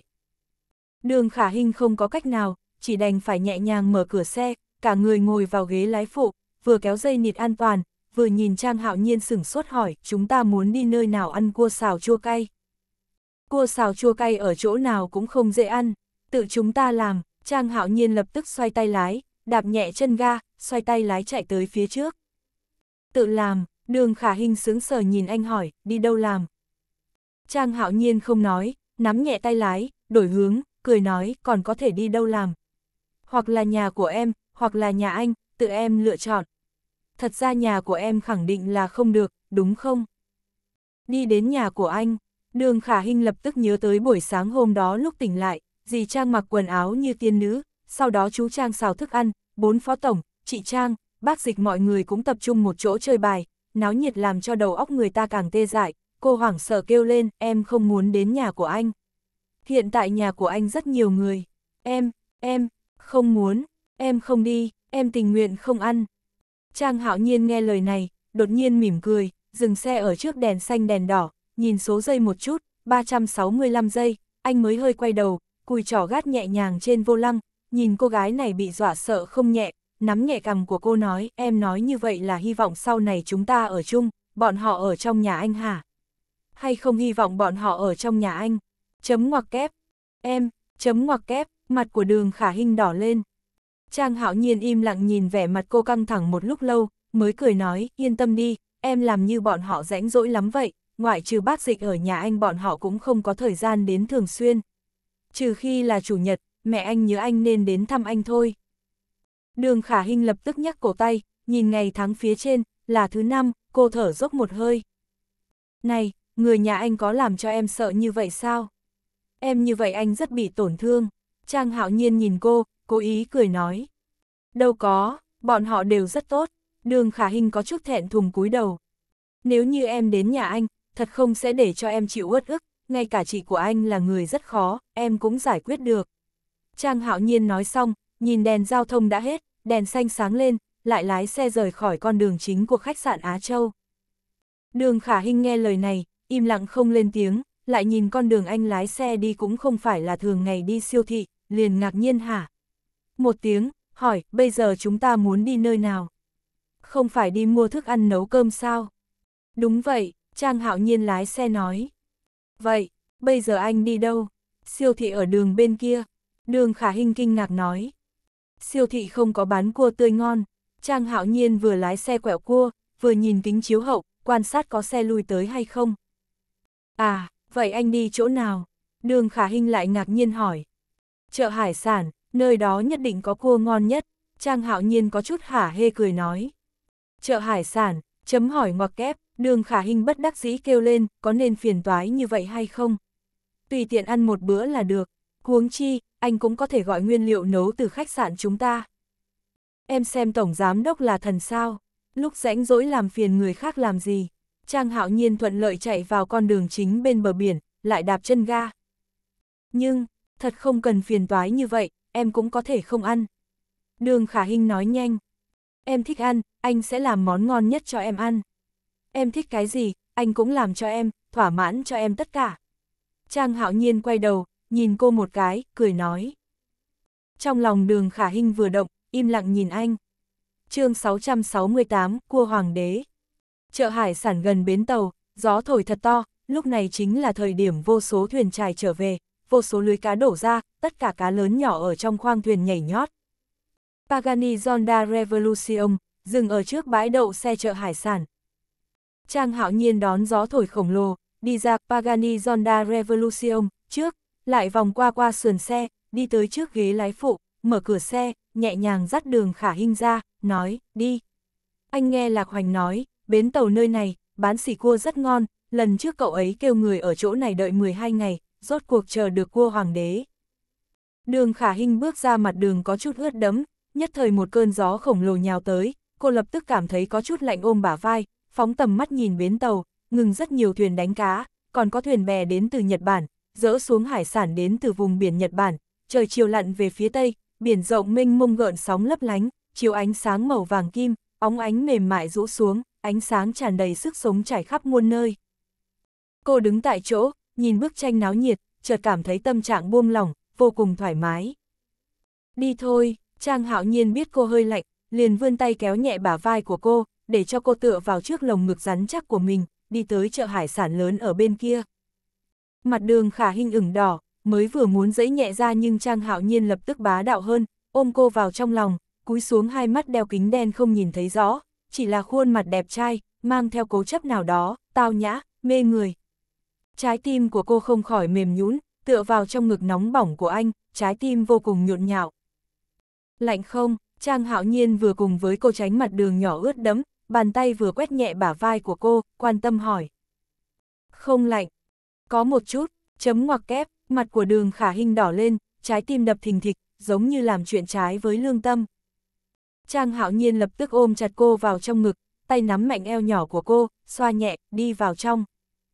Chợ hải sản, diện tích khoảng 50.000 mét vuông, là chợ hải sản lớn nhất cả nước, ba tòa nhà lớn gần 20 tầng, xây theo vòng tròn, giữa sân lớn có rất nhiều xe, mặc dù hải sản phong phú, hiện trường ướt đẫm, nhưng vẫn có thang máy lên xuống, mỗi khu vực đều có nhãn hiệu chuyên biệt, ghi rõ loài hải sản, Trang Hạo Nhiên và Đường Khả Hinh cùng đi vào giữa sân lớn của chợ hải sản, tránh xe lui tới, thấy rất nhiều người buôn bán hải sản xỉ, lẻ, ra ra vào vào ở bên trong.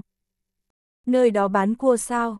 Đường Khả Hinh ngẩng đầu lên nhìn bốn phía, thật sự không có nghĩ tới, nơi này còn có chợ hải sản lớn như vậy, đoán chừng là mới xây năm gần đây. Trang hạo nhiên tháo kính mắt xuống, ngẩng đầu lên nhìn phía trước có bảng hiệu tôm cua, nói, là ở chỗ đó, đi thôi. Hai người liền cùng nhau bước đi, không ngờ đi qua khu tôm hùm châu Úc, đường khả Hinh thấy trước một gian hải sản đặt vỏ một con tôm hùm lớn màu đỏ thấm rất đẹp, dâu dài gần một thước, cuộ hoa một tiếng, đi tới trước con tôm hùm này, ngồi xổm xuống nhìn nó thật là khí phách đặt ở trong khay nhỏ, thật đẹp, cô cười rộ lên nói tôm hùm thật đẹp. Ông chủ đang ngồi ở trong sạp hải sản nhỏ chọn tôm hùm nhỏ, nghe nói như thế, vội vàng đi ra cười nói, tiểu thư, có muốn một con hay không? Tôm hùm lớn châu Úc tươi mới nhất, hôm nay vừa lúc có hàng. Trang hạo nhiên lại đẹp trai đi tới, kéo nhẹ hông của đường khả hình, tay phủ nhẹ khuôn mặt nhỏ nhắn của cô, mỉm cười mang cô đi khỏi. Làm gì? Chấm hỏi ngoặc kép, đường khả hình ngạc nhiên nhìn anh, vẫn rất kích động nói, anh không nhìn thấy con tôm hùm này thật to sao? Nhất định ăn thật ngon.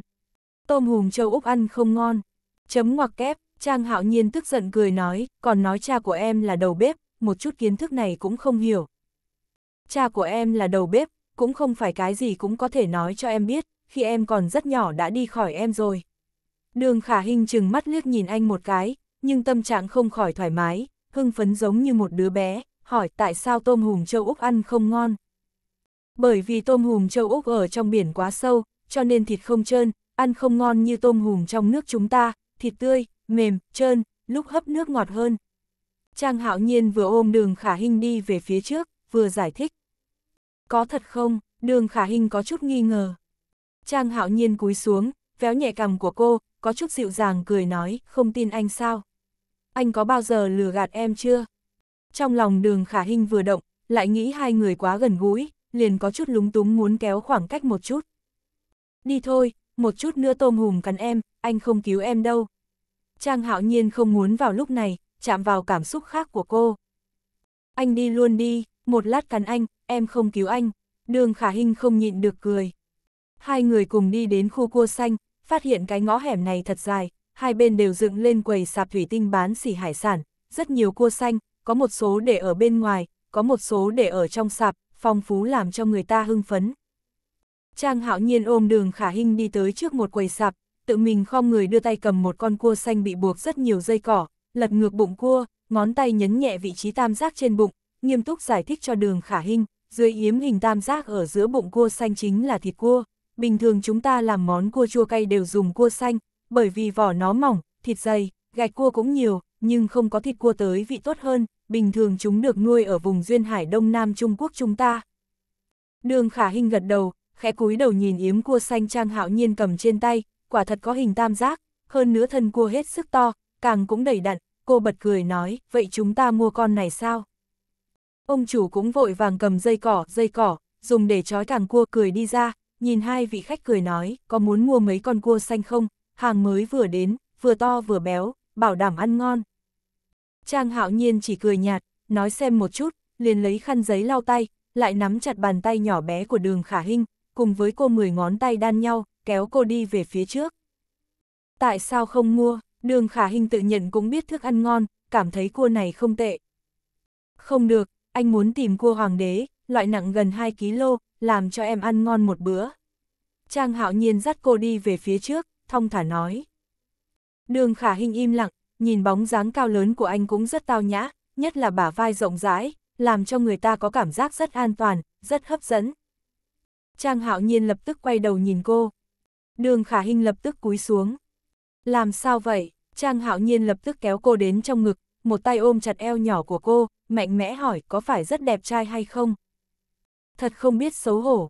Chấm ngoặc kép, đường khả hình thấy chợ hải sản rất nhiều người, theo bản năng muốn đẩy anh ra.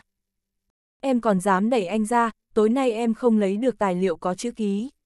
Trang hạo nhiên lại trêu chọc cô, ép buộc ôm chặt thân thể mềm mại của cô vào trong ngực, giả vờ muốn hôn cô. Anh đừng như vậy, Trang hạo nhiên, đường khả hình khẽ quay mặt đi.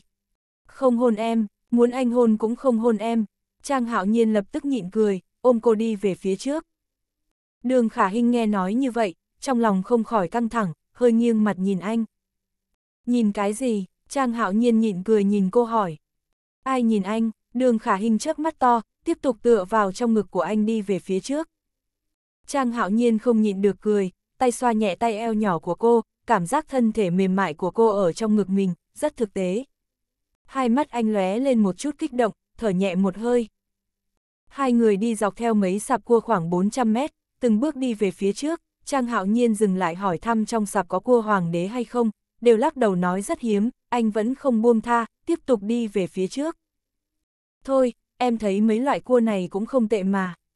Chấm ngoặc kép, đường khả hình kêu nhỏ. Không được, Trang Hạo Nhiên là người nói được làm được, lại kéo bàn tay nhỏ bé của cô đi về phía trước, đến con đường nhỏ cuối chợ, nhìn thấy có một bảng hiệu mới, viết cua hoàng đế, ánh mắt của anh sáng lên, nở nụ cười tiếp tục bước tới. Đường khả hình cũng theo bước chân của anh, đi về phía trước. Ông chủ, ở đây thật có bán cua hoàng đế. Trang hạo nhiên gấp gáp đứng ở trước bảng hiệu, nhìn một ông lão gần 80 tuổi ở bên trong, có chút căng thẳng hỏi. Ông lão không nói lời nào, chỉ lặng lẽ đứng ở trong sạp hải sản, dùng dây cỏ thô cứng, ghim từng con cua vừa to vừa béo hơn so với sạp khác, cũng không để ý tới người hỏi. Đường khả hình cũng có chút tò mò đi tới đứng bên cạnh Trang Hạo Nhiên, nhìn ông lão, nhẹ nhàng khéo léo hỏi, ông chủ ơi, chỗ của ông có cua hoàng đế không? Lúc này, ông lão mới nhàn nhạt ngẩng đầu lên, liếc mắt nhìn đường khả hình, liền chỉ chỉ cái sọt bọn họ vừa vặn đứng kế bên. Trang hạo nhiên theo ý của ông, liền vươn tay, tò mò vạch cái sọt cực lớn, mới nhấc lên, một con cua hoàng đế cực lớn khoảng 2 kg cũng không có buộc dây lập tức bỏ ra, con cua kẹp chặt ngón tay cái của anh, cắm sâu vào, anh a hát một tiếng, đau đến kêu to. A, chấm than ngoặc kép, đường khả hình lập tức hoảng sợ quát to một tiếng, nhanh chóng gõ mắt của nó, lấy cái sọt đắp lên. A, chấm ngoặc kép, Trang hạo nhiên vung ngón cái, cao mày đau đến kêu một tiếng, giơ ngón tay xem, ngón cái đã chảy máu. Trời à, sẽ có có độc hay không?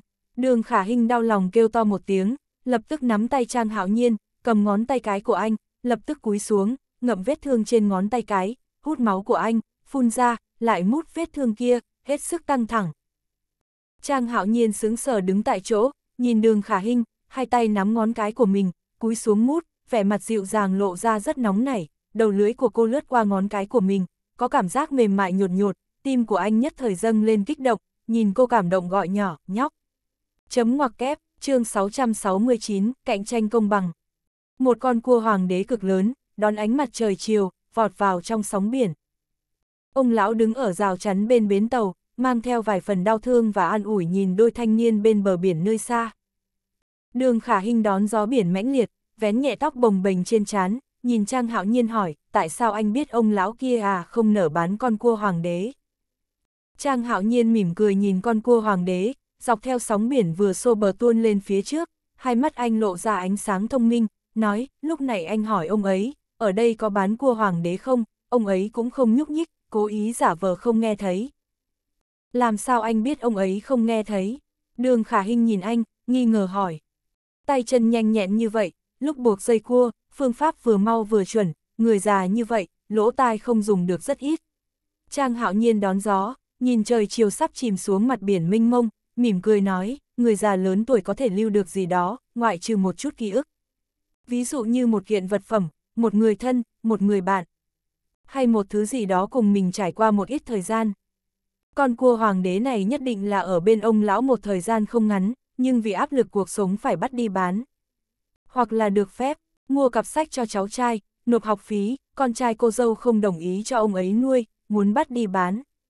Chấm ngoặc kép, cho nên anh mới vừa. Chấm ngoặc kép, đường khả hình nghe tiếng sóng biển cuộn trào, lại nhìn Trang Hạo Nhiên vô cùng xúc động nói, tốn 3.000 đồng, mua con cua hoàng đế này, thậm chí sau này, căn dặn bộ phận mua hàng của khách sạn, mỗi tháng tới nơi này mua một lần. Trang Hạo Nhiên mỉm cười nói, cuộc sống luôn có rất nhiều cuộc tao ngộ, có lẽ anh không phải một người tốt, nhưng anh nghĩ, trong thời gian giới hạn của anh, có thể gặp được một số người cần giúp đỡ, tận lực giúp một tay. Chỉ là, rất giới hạn. Ví dụ như, con cua hoàng đế này thả vào trong biển, có lẽ ngày mai sẽ bị bắt lại, nhưng vào lúc này, ít ra có một ông lão an tâm, thật là tốt biết bao. Phải quý trọng cuộc sống có giới hạn, phải quý trọng vui vẻ và hạnh phúc của bọn họ. Đường khả Hinh đứng ở một bên, nhìn Trang hạo nhiên, hai mắt không nhịn được đỏ lên. Một loạt tiếng bước chân giống như đạp cát mềm mại đi đến. Hai người cùng nhau xoay người. Một ông lão mặc quần áo đánh cá màu xanh đen, trên mặt, trên cánh tay cũng bị phơi đen, mang giày ống, đạp cát, tay đầy kén tằm, dùng dây đen treo ngược mấy con cua to lớn, đón gió đi tới trước mặt của Trang Hạo Nhiên và đường khả Hinh cũng không có nói gì, chỉ nhẹ nhàng đặt cua ở trên bờ cát ướt đẫm, liền xoay người đi khỏi. Trang Hạo Nhiên và Đường Khả Hinh đứng chung một chỗ, có chút kinh ngạc nhìn bóng lưng ông lão, hơi còng xuống, lại rất kiên cường.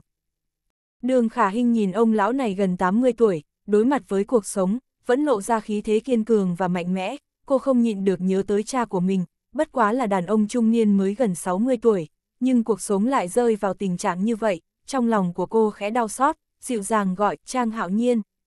Chấm ngoặc kép. Hả, Trang Hạo Nhiên vẫn kích động nhìn ông lão kia. Đường Khả Hinh vẫn nhìn theo ông lão dần dần biến mất trong sóng biển tuôn trào, trong lòng của cô sôi trào khó hiểu, nói, nếu như có một ngày, người mà anh yêu nhất, cha mẹ già của cô ấy phản đối các người ở chung một chỗ, thì anh làm thế nào? Trang Hạo Nhiên đột nhiên quay đầu lại nhìn đường Khả Hinh, cười nói, vậy cũng không nên ở chung một chỗ. Đường Khả Hinh sửng sốt quay đầu, nhìn Trang Hạo Nhiên. Ánh mắt Trang Hạo Nhiên lộ ra một chút nghiêm nghị, cười nói chúng ta không nên ở chung một chỗ, bởi vì bọn họ phản đối nhất định có lý do của bọn họ, cha mẹ nuôi dưỡng chúng ta thành người, mặc kệ như thế nào, chúng ta cũng nhất định phải mang lòng biết ơn đối mặt bọn họ. Sau đó, chấm ngoặc kép, đường khả hình dừng lại nhìn anh. Trang hạo nhiên chăm chú nhìn đường khả hình, bật cười nói, sau đó chúng ta quyết định cố gắng, cố gắng hết mình, bỏ ra tất cả, cho đến khi bọn họ đồng ý mới thôi. Ở trong thế giới của anh, hai người hạnh phúc không phải hạnh phúc chân chính, mọi người xung quanh chúng ta đều hạnh phúc, chúng ta mới có thể hạnh phúc. Chấm ngoặc kép. Đường khả hình nhìn anh, hai mắt kịch liệt đỏ bừng. Anh tin đá có thể thành vàng, chỉ cần em đủ thành ý. Nếu như có một ngày, anh muốn cưới người đó, anh nhất định sẽ phải nghĩ hết biện pháp, để cho người cô ấy yêu nhất sát tay của cô ấy, đi tới trước mặt của anh, anh muốn cho ông ấy biết, anh kính trọng và biết ơn ông ấy. Cảm ơn ông ấy đã nuôi dạy đứa con gái ưu tú, đi tới trong thế giới của anh, để cho anh nếm được tình yêu ngọt ngào, nắm tay nhau đi đến hạnh phúc. Cảm ơn sự vĩ đại của ông ấy, cảm ơn ông ấy bỏ ra, cảm ơn ông ấy tác thành. Anh sẽ nói với ông ấy, xin hãy tin tưởng anh, anh sẽ để cho con gái của ông hạnh phúc, nhất định như vậy. Chấm than ngoặc kép, ánh mắt Trang Hạo Nhiên đột nhiên nóng bỏng nhìn đường khả hình, vô cùng xúc động nói. Hai mắt đường khả hình tràn lệ, trong lòng chợt dâng lên một chút chua xót, lại rất kích động và ngọt ngào, nhìn người đàn ông trước mặt. Trang hạo nhiên chăm chú nhìn đường khả hình, nói anh nhất định sẽ vì chuyện này mà làm mọi cố gắng. Mặc kệ cô ấy gặp phải bất cứ chuyện gì, anh chấp nhận vì cô ấy mà gánh vác, đảm đương tất cả khó khăn trong cuộc đời, để cho cô ấy được hạnh phúc. Đường khả hình chợt cúi đầu, lau đi nước mắt trên mặt, nghẹn ngào, hút lỗ mũi đỏ bừng. Trang hạo nhiên chậm rãi đến gần đường khả hình, nâng nhẹ mặt của cô, hai mắt xoay tròn, nhìn đôi mắt cô mơ mộng dịu dàng, tràn đầy nước mắt, anh sướng sờ nói, khả hình. Cha của em, phản đối chúng ta sao? Đường khả hình ngẩn ra, trong lòng xúc động minh mông lập tức bình phục, vội vàng nghẹn ngào nói, không có.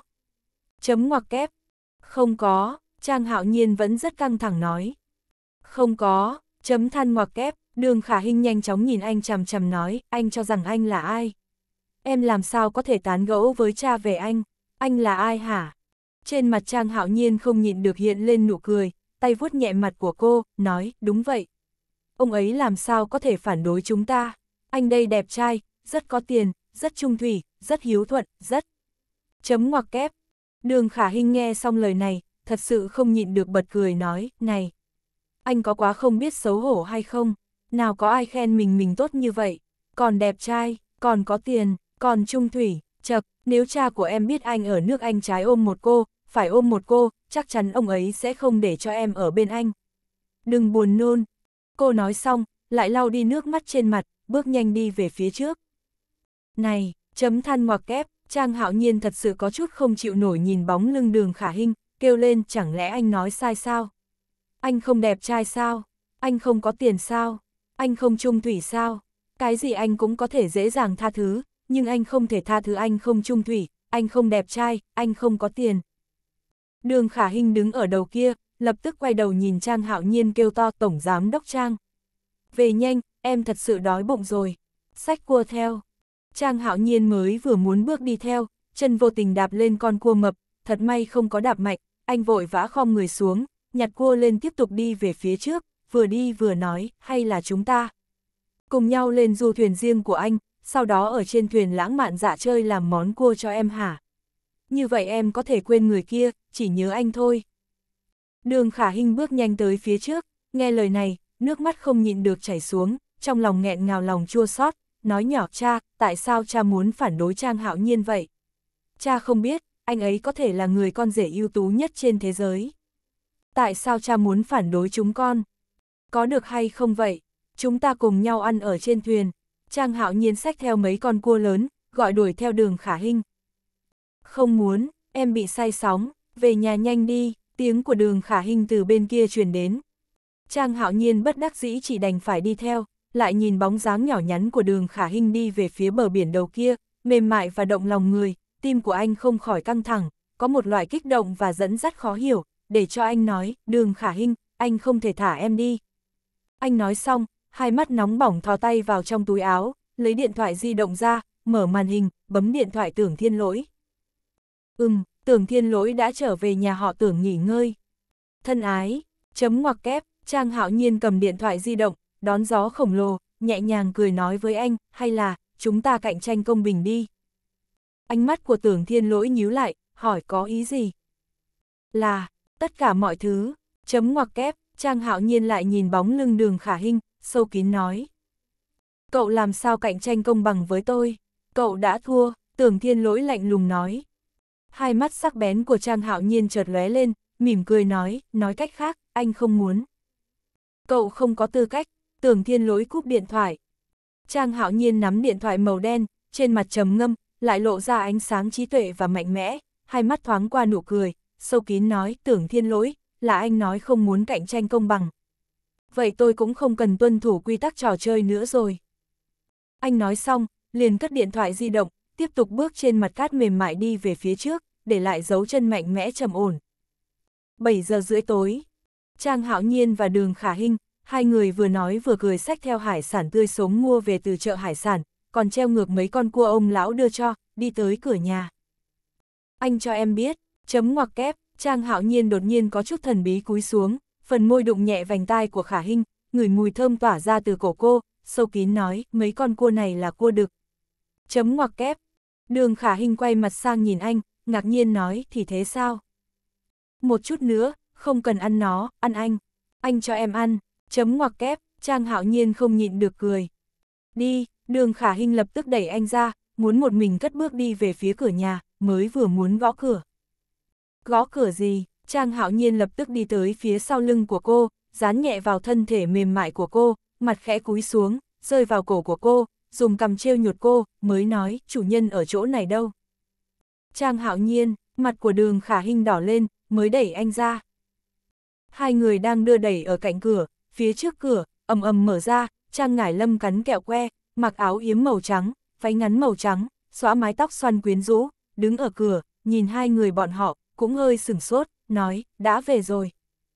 Ngoặc kép chấm, chấm ngoặc kép, Trang Hạo Nhiên và đường khả hình sách theo đồ, thân thể nhanh chóng cứng đờ nhìn cô. Trang Ngải Lâm sửng sốt nhìn bọn họ, cầm kẹo que nhẹ nhàng lắc lắc mới nói, làm sao vậy? Hai người vẫn không nói lời nào, chỉ trợn to mắt, miệng há hốc nhìn tới trước. Mẹ, em trai và khả hình đã về rồi.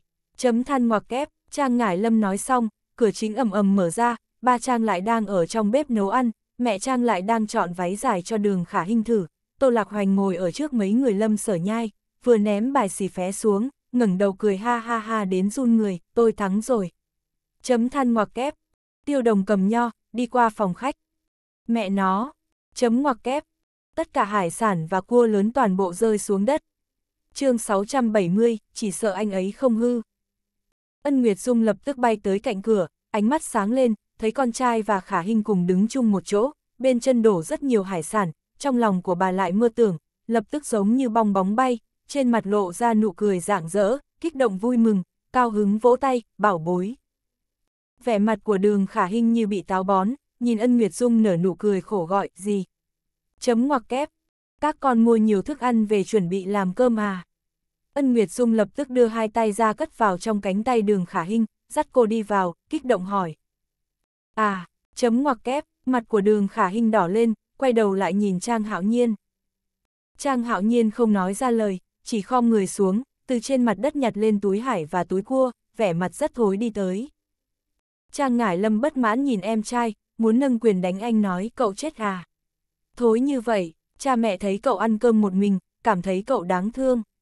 Còn nói hôm nay cho phép cậu lên bàn ăn cơm, thứ không biết xấu hổ. Trang hạo nhiên không có lên tiếng, chỉ xách theo đồ, chậm rãi đóng cửa lại. Cục cưng, mau vào đây, mẹ đang nhớ con đây.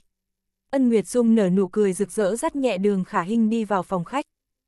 Lúc này Trang Tĩnh Vũ, cũng cởi tạp dề, trong tay còn cầm cái vá, nhìn thấy đường khả hình, hai mắt chợt lóe, sắc mặt hơi hòa hoãn, mới mỉm cười gọi nhỏ, khả hình, con tới rồi. Chào chú, đường khả hình vội vàng hướng Trang Tĩnh Vũ khéo léo khom lưng gật đầu, sau đó nói, à, hôm. Hôm nay thầy giáo gọi con mang tài liệu thưởng thức rượu tới cho Tổng Giám Đốc ký, cho nên. Chấm ngoặc kép. Trang Tính Vũ nghe vậy, im lặng ngẩng đầu lên nhìn con trai một cái. Trang hạo nhiên đứng ở một bên, nhìn cha. Con đã đến vừa đúng lúc, chú mới vừa hầm một nồi súp xong, muốn đưa qua cho con.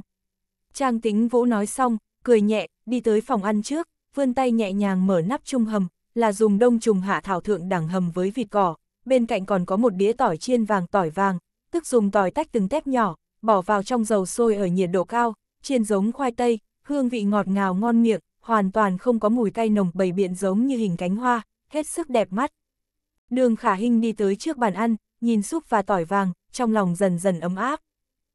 Trang tính vũ ngẩng đầu lên nhìn đường khả hình, mặc dù sắc mặt đỏ thắm, nhưng rõ ràng đứa bé này vì thi đấu vất vả, khí huyết chưa đủ, ông mỉm cười nói, đông trùng hạ thảo hầm vịt cỏ, hạ hỏa rất mát, chú hầm mấy tiếng. Còn định bảo tiêu đồng đưa qua cho con. Tiêu đồng ngồi ở bên ghế salon bên kia ăn nho, nghe được chủ tịch nói tới cô, liền liếc mắt nhìn sang. Trang hạo nhiên cũng đã nhanh chóng để hải sản xuống, bước nhanh đến trước mặt cô, lập tức nắm chặt tóc đuôi ngựa thật dài của cô, kéo cô đến phòng khách sau quầy ba. Này, này, này, làm gì vậy? Tiêu đồng bị lão đại kéo đau. Cô là thứ chậm hiểu, còn nói tương lai cô lập gia đình, cho cô đổ cưới. Trang hạo nhiên tức giận nhìn tiêu đồng, lập tức vươn tay chọc thẳng chán của cô, nói khẽ cô biết rõ tôi và Khả Hinh ở chung một chỗ, tại sao cha mẹ tới nhà của tôi, cô không báo cho tôi biết một tiếng. Chấm hỏi ngoặc kép.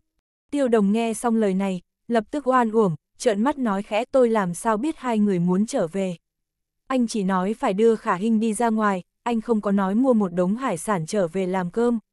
Huống chi, Khả hình bị thầy giáo quy định mỗi ngày 10 giờ tối phải trở về nhà, chúng tôi đâu có nghĩ ngợi gì chứ. Trang hạo nhiên bất đắc dĩ nhìn tiêu đồng, bộ dạng mình là một người đứng đắn nói, tôi muốn mọi người nghĩ ngợi từ lúc nào. Tiêu đồng xem thường liếc mắt chừng anh.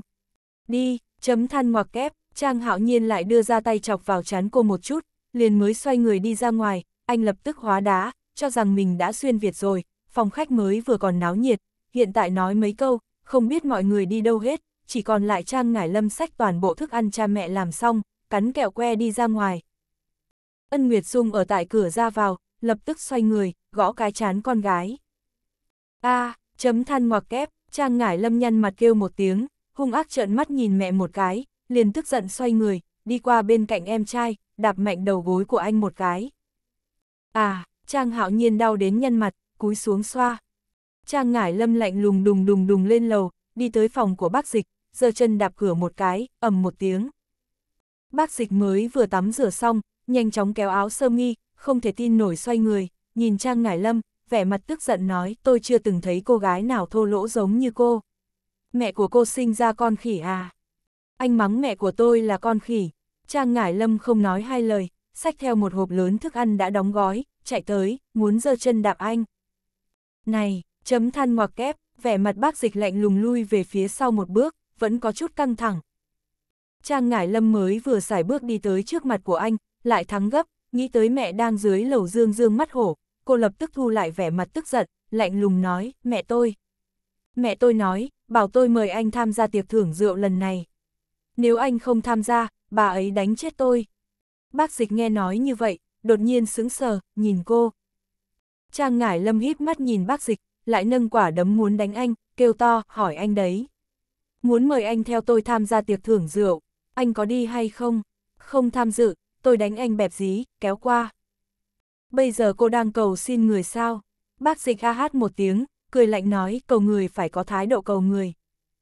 Anh, anh thật sự là cần ăn đòn. Trang Ngải Lâm không có tính nhẫn nại, không nói hai lời liền vung tay lên, muốn đánh mặt của anh. Tay bác dịch lập tức giống như móng vuốt chim ưng, cứng rắn nắm chặt cổ tay của cô, dùng sức đàn ông liều mạng nắm chặt. Trang ngải lâm thoáng dừng lại, nhìn anh. Tôi sẽ đi, không cần cô mời tôi, tôi cũng muốn đích thân tham gia bữa tiệc, tôi muốn trưng bày rượu đỏ của mình. Bác dịch lạnh lùng nhìn cô nói. Tham gia bên này và tham gia bên đó không giống nhau. Anh phải ngồi ở bên cạnh tôi, Trang ngải lâm mắt lạnh nhìn anh, cảm nhận sức lực của người đàn ông này thật mạnh mẽ. Nói cách khác, cô phải ngồi ở bên cạnh tôi, bác dịch lạnh lùng nói. Ngoặc kép chấm, chấm ngoặc kép, Trang ngải lâm lạnh lùng nhìn anh chằm chằm. Biết, bác dịch lập tức buông tay cô ra, lạnh lùng nhạt xoay người, cài nhẹ áo sơ mi nói tôi biết rồi. Vì gì, quả thật đáng để tôi kính trọng.